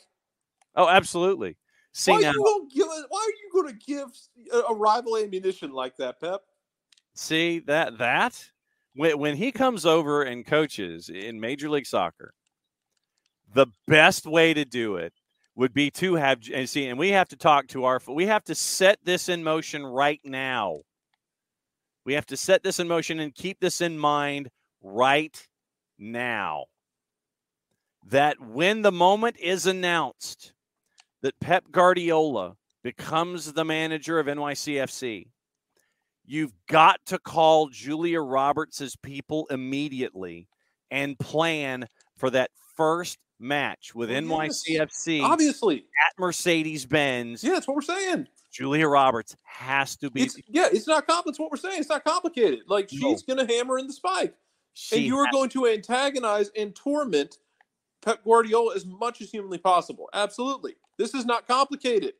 To see Julia Roberts in a five stripes jersey with Roberts on the back and whatever year she's coming by, for her to put whatever number she wants. She could put she could she could like she could do do like I don't know like whatever the hotel calculus on the back of it. I don't whatever care. the whatever Make the it happen just so I can laugh was, at this. Pretty woman.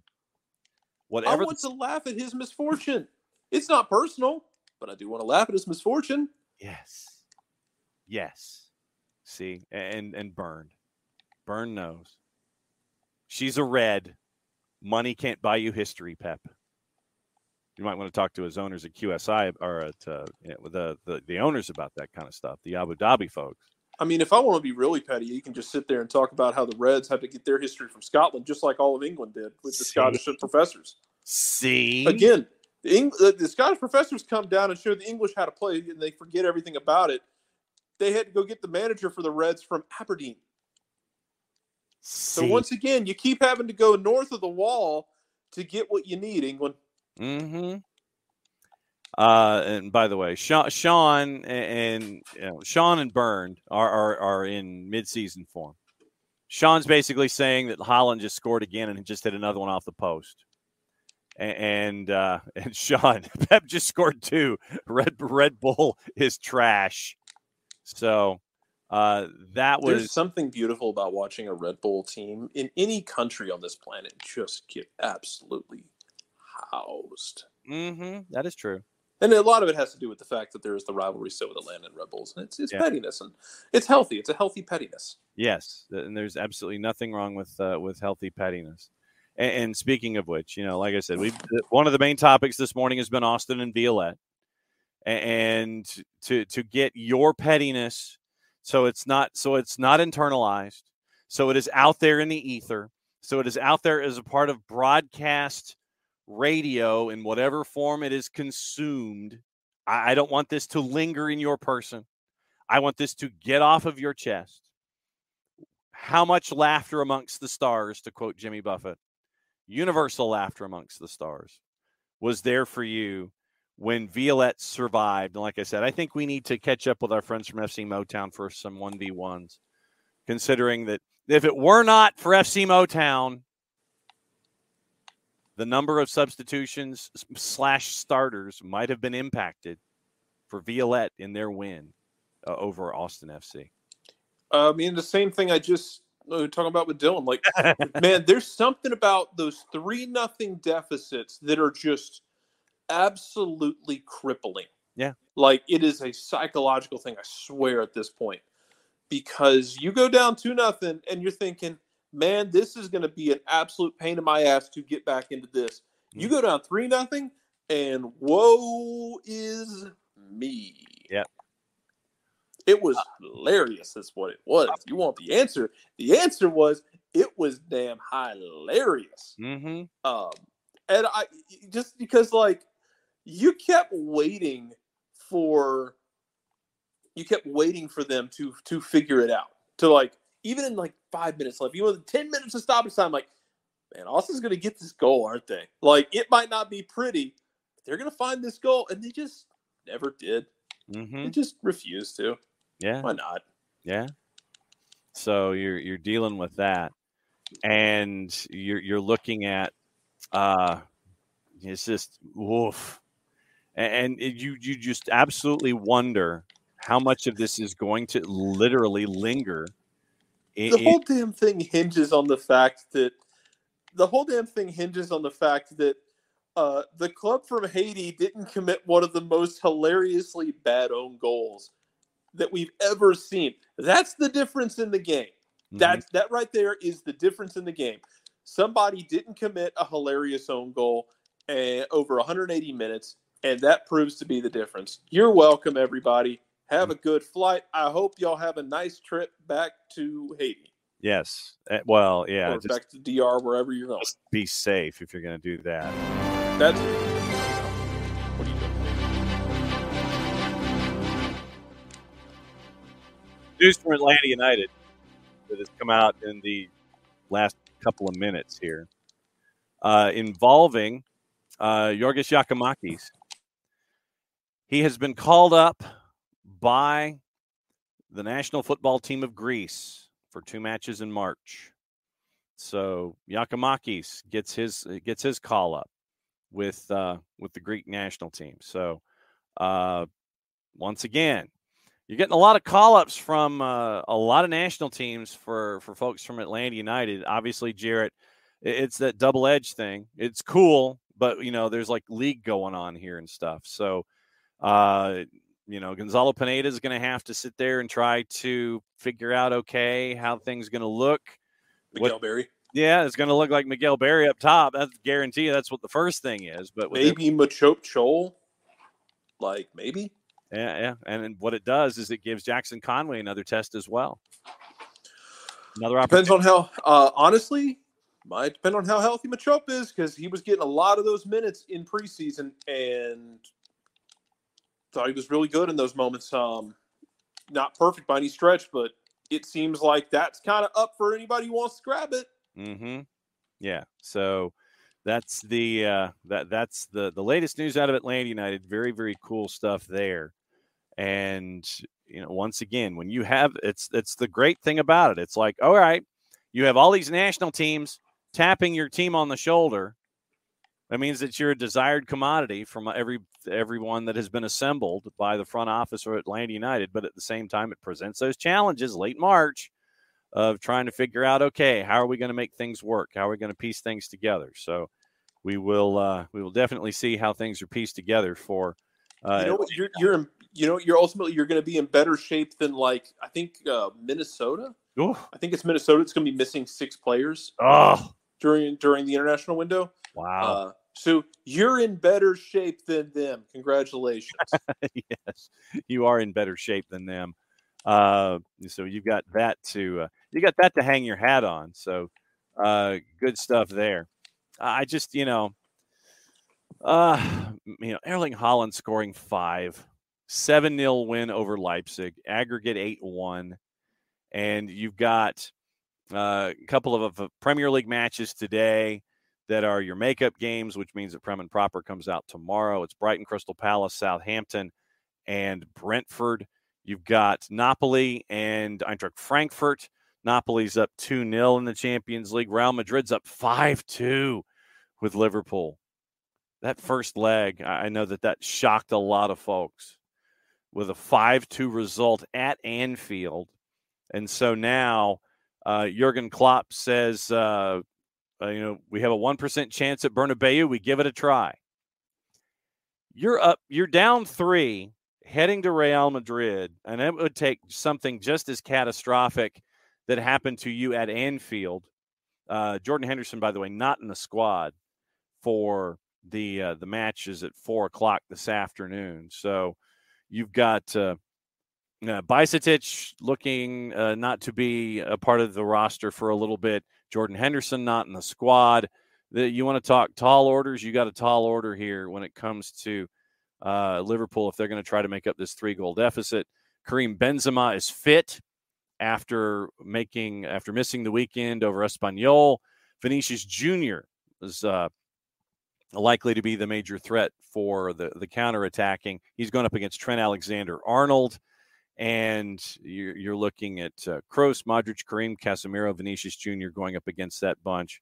Uh, Bajcetic, stress problem with an adductor muscle and he was playing with the U21s a year ago, having earned a regular place in the squad. Traveled to Madrid, but will take will will not take part, according to Jurgen Klopp, a stress response in his adductor, which is absolutely bad. He doesn't feel a lot, but he is now out for I don't know exactly how long.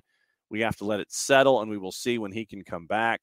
So once again, no Bajcetic, no Jordan Henderson when it comes to uh, Liverpool down five two heading to the uh, the Bernabeu. Yeah, and uh, I mean Emilio just uh, Emilio in the Twitch pitch. He goes, "Yeah, I just noticed that uh, Miguel Berry just goes by Miguel on the back of his jersey." I mean, we see that a lot, Jared. Sometimes you won't see traditional last names. You'll see you'll see first names uh, when it comes to to certain players and how they want to be identified. So not necessarily something completely out of the norms. Just seeing Miguel on the back of the Miguel Berry jersey. Yeah, it happens. Um, guys just have different ideas about what they want to put on their shirt. Um, it's, it's, it's individual expression. Yeah. Some people are more traditional about it than others. Eh. Yeah. Uh, the delegation representing Sheikh Jassim's bid for Manchester United will be at Old Trafford for meetings tomorrow. Some of the Sheikh's closest personal advisors will be there, while they are also expected to visit the training ground. Jassim remains 100% committed to buying 100% of the club. Meanwhile, the delegation representing Sir Jim Ratcliffe's Ineos bid will visit on Friday. So uh, that's what you're staring at for the the bid. And if and for with Sheikh, Sheikh Jassim, he's like it's 100% or I'm not interested. There's going to be no section, no per, no purchase piece. It's got to be 100% for Sheikh Jassim. Uh, Zlatan has been called up to the Sweden squad at the age of 41. And he's only been uh, with AC Milan three times because he's been injured a lot this year. Only been capped five times by his country since 2016. Last Sweden goal came in 2015. But he has been called up for his nation's European Championship qualifiers against Belgium and Azerbaijan later this month. And so Zlatan Jarrett now gets to conquer the European Championships. Okay. Is, is he going to actually conquer anything? or is he just going to walk around and pretend like he conquered something, like he's part of the U.S. military in the '70s? Oh, I'm well. So, w- w- which way are we going to go here, Zlatan? Oh, I'm I'm fairly certain he, he believes that he's uh, going to be conquering everything, absolutely everything. So Believe whatever you want. Yeah, of course, absolutely. And so that's that's the beauty of Zlatan. Zlatan believes that Zlatan has conquered everything, and that's what uh, that's what he's going to do. Uh, David Moyes found this interesting. Uh, right now, in, in, the in the Premier League, uh, David Moyes and West Ham they're they're having issues.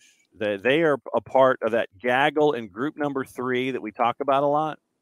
That is uh, sadly chasing after relegation, which is not really something that you want to chase after. But when you have nine teams separated by five points, and West Ham is only out of the relegation zone on goal difference, you are 16 goals ahead of Bournemouth, who got slapped earlier this season and uh, forced a managerial change. So, yeah, you are one of three teams at 24 points. You have Leeds behind you at 23. You have Southampton behind you at 22, and you're just out of the relegation zone on goal difference. When asked about what's going on for his his activity in the Europa League, David Moyes said, "Reaching the quarterfinals would be great. It's the first thing you have to do. The big thing we really want is to get to the final, but we can't do that unless we get to the quarterfinals first, and that's what we want to do." Odds on West Ham getting to the. Why does he talk like a Leslie Nielsen character? Genuinely curious.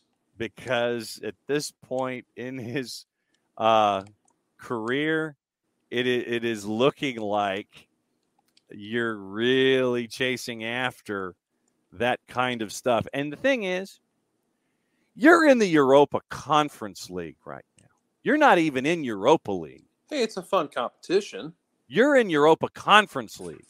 It's a fun competition. And you are in the, the last 16 in the Europa Conference League, and you want to make the finals. You are a big favorite, understandably so, tomorrow, going up against AEK Larnaca out of Cyprus. You're a minus 417. Understand that you'll probably get to the round of eight. But in the round of eight, you have the possibility of these folks being with you Fiorentina, Basel, Lazio, AZ Alkmaar, Nice, our buddies from uh, uh, Sheriff Tiraspol, and Villarreal. Even if you make it past AEK Larnaca, which you should, you've got a lot of folks that will be chasing after Europa Conference League glory that are better than you. You might make it to the round of eight, but that's about it. You might just survive in the Premier League, but considering how many folks are just surrounding you right now, I'm not so sure. So good on you, David Moyes for one of the sound bites of the morning. Yikes. Uh, Arsenal have announced Stan and Josh Kroenke have become co-chairs of the club. Tim Lewis has been appointed executive vice chair. It just sounds like that they just felt like printing up new business cards at Arsenal and rearranged a couple of the offices and who gets the the corner office and who gets the glass windows. Arsenal quote the appointments are a recognition of how our leadership structure has evolved over the past several seasons since Kroenke Sports and Entertainment assumed 100% ownership of Arsenal Football Club in 2018. Stan, Josh, and Tim have worked together to drive our club forward, and their appointments bring clarity to our structure that reflects their roles and responsibilities and will ensure we continue in our pursuit of progress and success. End quote. So good on you. You, re- you rearranged the offices. UEFA says it's looking into events at Porto's Estadio do, uh, do Dragao on Tuesday night that left hundreds of ticketed Inter Milan fans stuck outside the stadium for their Champions League last 16 leg. Inter Milan chief exec Beppe Marotta said a formal complaint would be made to the governing body following the goalless draw, which sealed a 1 0 win on aggregate for Inter, but hundreds of supporters missed kickoff after being denied entry by the authorities, with safety fears being raised as large queues formed. Marotta told Sky Italia, quote, I want to spare a thought for circa a thousand fans who were left outside the stadium even after regularly purchasing a ticket. I saw footage of families who were locked outside, children crying who had flown here from Italy. We had met with the local authorities this morning and they assured us that the fans would be allowed in, even beyond those limits of the away section. Instead, this did not happen. These were, for the most part, families with children who certainly weren't here to perpetrate acts of violence, but to support their team. I don't believe the situation was so serious as to ban their entry. UEFA said the regulations stipulate 5% of the stadium capacity has to be provided to the visiting team in a segregated area for supporters. Uh, responsibility for the safe and secure management of spectators and the associated ticketing policy are determined by the match organizer and the relevant authorities. Mitigation measures were discussed between both clubs. UEFA is currently looking into the matter. Uh, Morocco has joined Spain and Portugal, by the way, in the World Cup 2030 bid. So keep an eye on that. Uh, Ukraine may also be able to host some games in 2030. They're looking at, as a part of it, uh, going up against the Argentina, Uruguay, Paraguay, Chile bid. And also, you could get the bid from Saudi Arabia, Egypt, and Greece for 2030. So, uh, Liverpool has increased their season ticket prices. Uh, local general sale, nine pounds per ticket, said no more than 17 pounds will be added to the price of tickets in general. Uh, Liverpool supporters are pretty hot about that. Uh, let's see. Gossip rumor and innuendo. Get into gossip rumor and innuendo before we go. We'll get into what's on TV and what you can watch. Obviously, the Champions League stuff that's on at four o'clock this afternoon. You can probably watch all of it on either Paramount Plus or 2 to NA. Copa Libertadores is on beIN and beIN and Espanol at 8.30. Atletico Mineiro and Millonarios. Your triple header for Champions League is on FS2. Real España, Vancouver, Purple Team Tigres, LAFC, and Alajuelense. No Gignac for Tigres heading to Orlando. Uh, Premier League is at 3.30, Southampton and Brentford. Uh, beIN Espanol, Copa Libertadores, Medellin and Magallanes is at 8. If you want to catch some of this stuff and you don't have the networks to do it, you can sign up for Fanatiz, fntz.co slash soccer down here. Champions League, Real Madrid and Liverpool's on 2 to NA along with the triple header in Champions League. So a very busy day on 2 to NA four o'clock till about twelve thirty. You can watch soccer. On the plus, Sunderland, Sheffield United, the championship, USL championship, El Paso and Colorado Springs at nine o'clock. Before we go, we need to talk about quickly the fact that there actually is a schedule for Atlanta United 2 and MLS Next Pro. Paramount Plus, Real Madrid, Liverpool, Napoli, Frankfurt at four. One o'clock, you've got Europa Conference League with Istanbul, Başakşehir, and Ghent. Brighton, Crystal Palace is on Peacock. VIX and VIX Plus have Napoli and Frankfurt. Uh, gossip rumor and innuendo before we go. It is once it loads or once it decides to load. It'd be nice if you would load, perhaps. Maybe if we hit the gossip button. Here we go. All right. Spurs not willing to sell Harry Kane. Contract runs out in summer of 2024, even if he uh, doesn't sign a new deal. Luis Enrique would be interested in taking over at Spurs if uh, they part company with Antonio Conte. Mo Salah strongly considering leaving Anfield despite signing a new contract.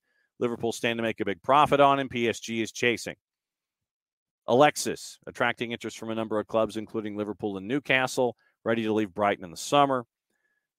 Uh, Beppe Marotta, speaking of Inter, says Romelu Lukaku will return to Chelsea when his season long loan spell comes to an end. Edouard Mendy has held contract talks with Chelsea, but the two parties aren't close. Barcelona looking to raise 70 million pounds with the sale of Frenkie de Jong. Number one transfer target this summer for Chelsea. They'll have to battle it out with Manchester United. Speaking of United, they're going to offer Uruguayan Facundo Pellistri a new contract before loaning him out next year. That's from Fabrizio Romano. Leeds have agreed to sign Barcelona forward Ilias Akhomach, who is 18 at the end of the year. I think they're going to sign him at the end of the year. He's not 18 at the end of the year. Mundo Deportivo there. Wolves, Ruben Neves, no longer a target for Barcelona. Argentina, Manchester City. Julian Alvarez agreed to a new five and a half year deal with the Premier League club. That's to make sure that they keep him. And in case somebody's interested, they're really going to have to pay. Newcastle interested in Arsenal's Kieran Tierney. Gunners would be looking for between 35 and 40 million pounds.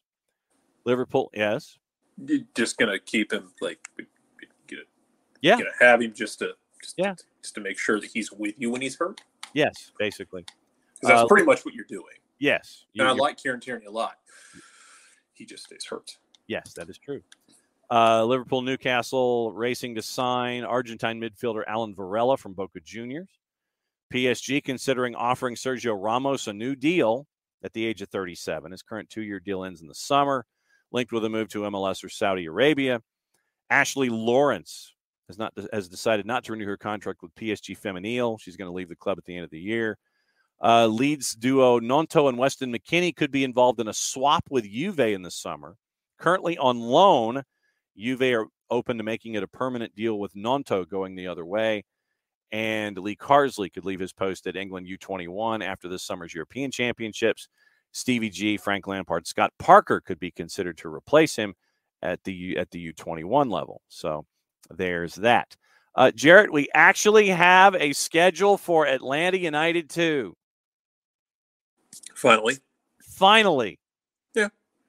And uh, the interesting dates that were that were placed out there, at least by Will, and I think that it is be it is being uh, recommended that a field trip to Huntsville be in order.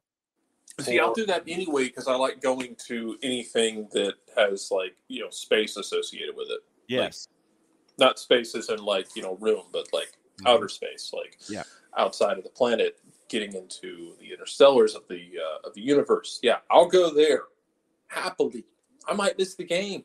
hmm J- Jack Collison makes his return to the fraction Sunday, July 23rd with Hunt City.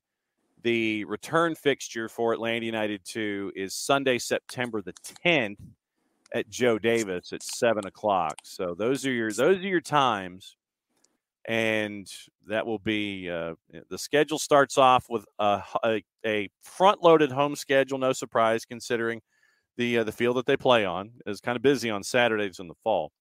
Starts Sunday, March 26th with new two coming to town. Then a week later, Red Bulls 2 on April 2nd. They go to New York on Sunday, April 9, come back for OCB on the 16th. So five of your first six and six of your first eight are at home. So you've got a chance to make your hay early on uh, before mid May.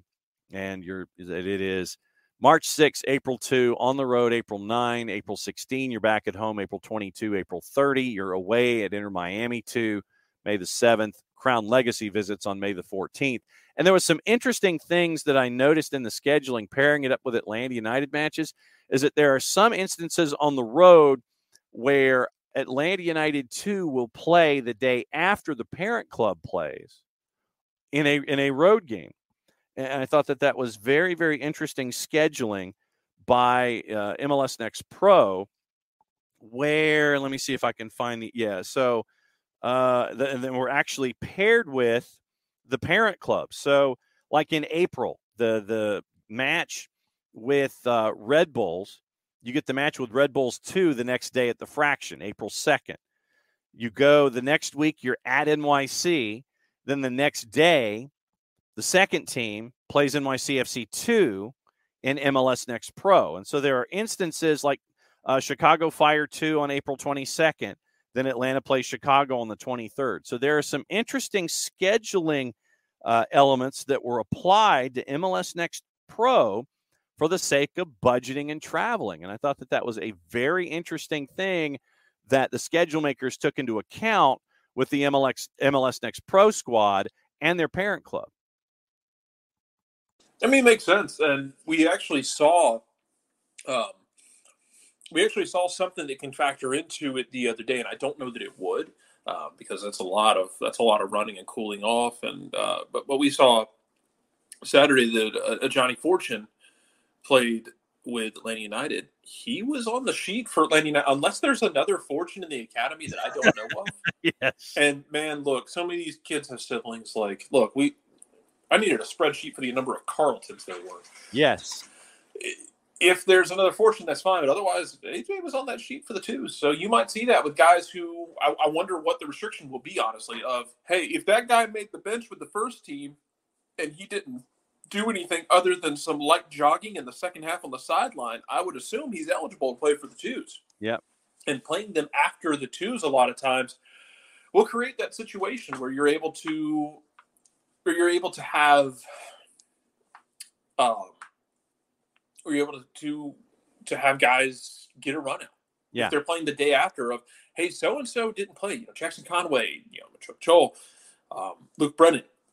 Well, Luke Brennan, not really, unless you're having an emergency call up because he's not a homegrown until next year. Right. Um, but any of those guys who are homegrowns, yeah, they uh, Ronald Hernandez, who wore the armband for the twos in their preseason game last weekend. Yeah. Like any of these guys who aren't getting time, they can go get time there at least and, and get some game action and get some live fire. Uh, Tafka, who's in this morning, says it should be practically every matchup. The twos travel with the first team if a chartered Jets use big savings. Yeah, and I think that's what's in Oh, play here. I absolutely agree. Um, you're saving money. You're uh, in that instance, yeah, you're saving money. Um, potentially saving travel costs. Yeah. Um, and look, I mean, you're you're also keeping guys fresher. All I can ever think about with with the charter stuff is talking to somebody who once played in the arena league, back when arena football, like early 2000s, when it was at its heyday, if we want to call it that. Um, for me, it was a heyday. I loved the arena league so much Yes. well, back when the Georgia Force um, was like uh, noted Chicago Bears head coach uh, Matt Nagy was the quarterback for the Force and was like an MVP candidate. Like I don't know, I don't know how many of y'all remember this. Like that Force offense, that the one year they went to Arena Bowl and they lost on a last second field goal to Colorado, and I had to watch uh, John Elway's horse face up on The TV. Colorado Crush. they lost on like a last second, like not a not a short field goal either. It was like a 35 yard field goal, which those arena uprights were so narrow. Yes. Dude, like with like Justin Tucker esque split it down the middle. Yeah. Um, but yeah, like that Matt Nagy was quarter was one of the quarterbacks on that team. Uh, Troy Bergeron was one of the wide receivers. Um, Troy Bergeron was a discovered talent in the arena. Like, oh my, he got to try out with the Falcons at one point. Because. Arthur Blank bought the Georgia Force and like had the idea of what if we just move some of these guys around and you had like Troy Bergeron ended up like getting into like training camp with the Falcons. I think he made the practice squad if I'm not mistaken. Yeah. Oh man, let's kind of hold on. Uh, Oh, he's going Troy Bergeron looking. yeah, Troy Bergeron. Yeah, he played uh played with the Bill. He played with the Georgia Force. Then he played with the Falcons, with the Bills. He was on practice uh practice squad with the Dallas Cowboys as well. Yeah. Oh man. Uh yeah, like um Derek Lee, not not the baseball Derek Lee. There was another Derek Lee who played um played for the Georgia Force and this, this is like 2004, 2005. Um man, like yeah, that that team like uh Chris Jackson, Derek Lee, and Troy Bergeron, like the Georgia Force had three ungodly wide receivers. Oh man. That was a beautiful time because they like they went when they went to the playoffs, they just trucked people until the Arena Bowl when they made mistakes and they ended up um ended up losing in the final. Uh, I, I digress. Uh, I'm uh, talking to someone who played in Arena Ball that like San Jose was the place to be when you played Uh-huh. because San Jose chartered their flights, and it Mm. makes a difference. yes, it Absolutely makes a difference for guys. hmm Uh, also in our in our DMs, Tofka has uh, attacked the schedule issues that include the uh, that Leagues Cup has prevented, and he he's done two separate options: thirty and thirty-two teams. And with the the Tofka variant, he says it makes the first half of the season crucial and multi-tiered battles across the board to secure tiered spots rewarding teams for good performance, gives the league essentially two months to plan and schedule the second half of the year. Just as vital, chasing after CCL, avoiding early elimination, playoff seeding, etc. Guarantees matchups highly competitive as teams are tiered together by quality. So, and he did it for a 30 and a 32 team variant. And it goes from like late February to early December. So, very little time off uh, in, in Tofka's scheduling. So, Tofka's already attacking the schedule and how it could work with the new Leagues Cup competition. So very, very, very, very cool stuff from our resident uh, uh, scheduling mathematician who's got a PhD in scheduling, man. Uh, so I, I, found the numbers on this because I went down the rabbit hole. Of course, uh, you did. In 2005, Jordan Bergeron had 31 touchdown catches, and Derek Lee had 33. Yes. Jesus. And how many? And, and who? And when Nagy was quarterback for that squad? Oh man. Um. Because I was trying to figure out who the starting quarterback was to figure out how what the what the passing stats were when two of your receivers caught. It was Matt Nagy was the quarterback. Yeah. So so how many touchdowns did he throw outside of the 64 to Bergeron and to Derek Lee? I'm trying to find that. That was 2005. Oh, yeah, Matt Nagy 2005 Arena Football. Oh man. Um he was second team all arena. Second team? Yeah, first team was Matt Gre- uh, Mark Grieb, who played for San Jose. San Jose, yeah. So um, yeah, that's uh definitely when you when you look at yeah Grieb and San Jose with the SaberCats, that was just some absolute unconscious passing by him. Uh, let's see. He threw 373 touchdowns in the Arena League. Uh huh. yeah. Oh, I mean, uh, 2005. Here we go.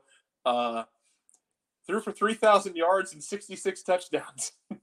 so it was either to Lee or to Bergeron that year. That was. Yeah, oh, it, it gets better.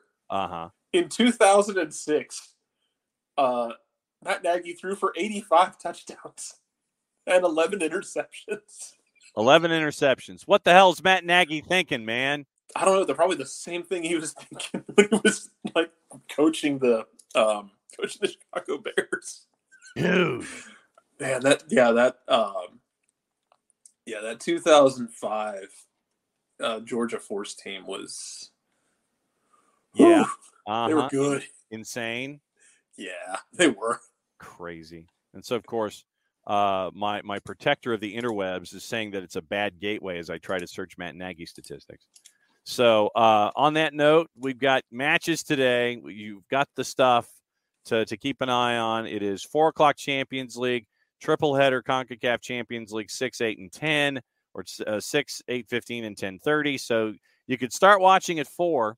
Really, you could start watching uh, the Conference League in Europa, and you could see, uh, you could try and see uh, who's going to advance in the Europa Conference League out of the round of 16.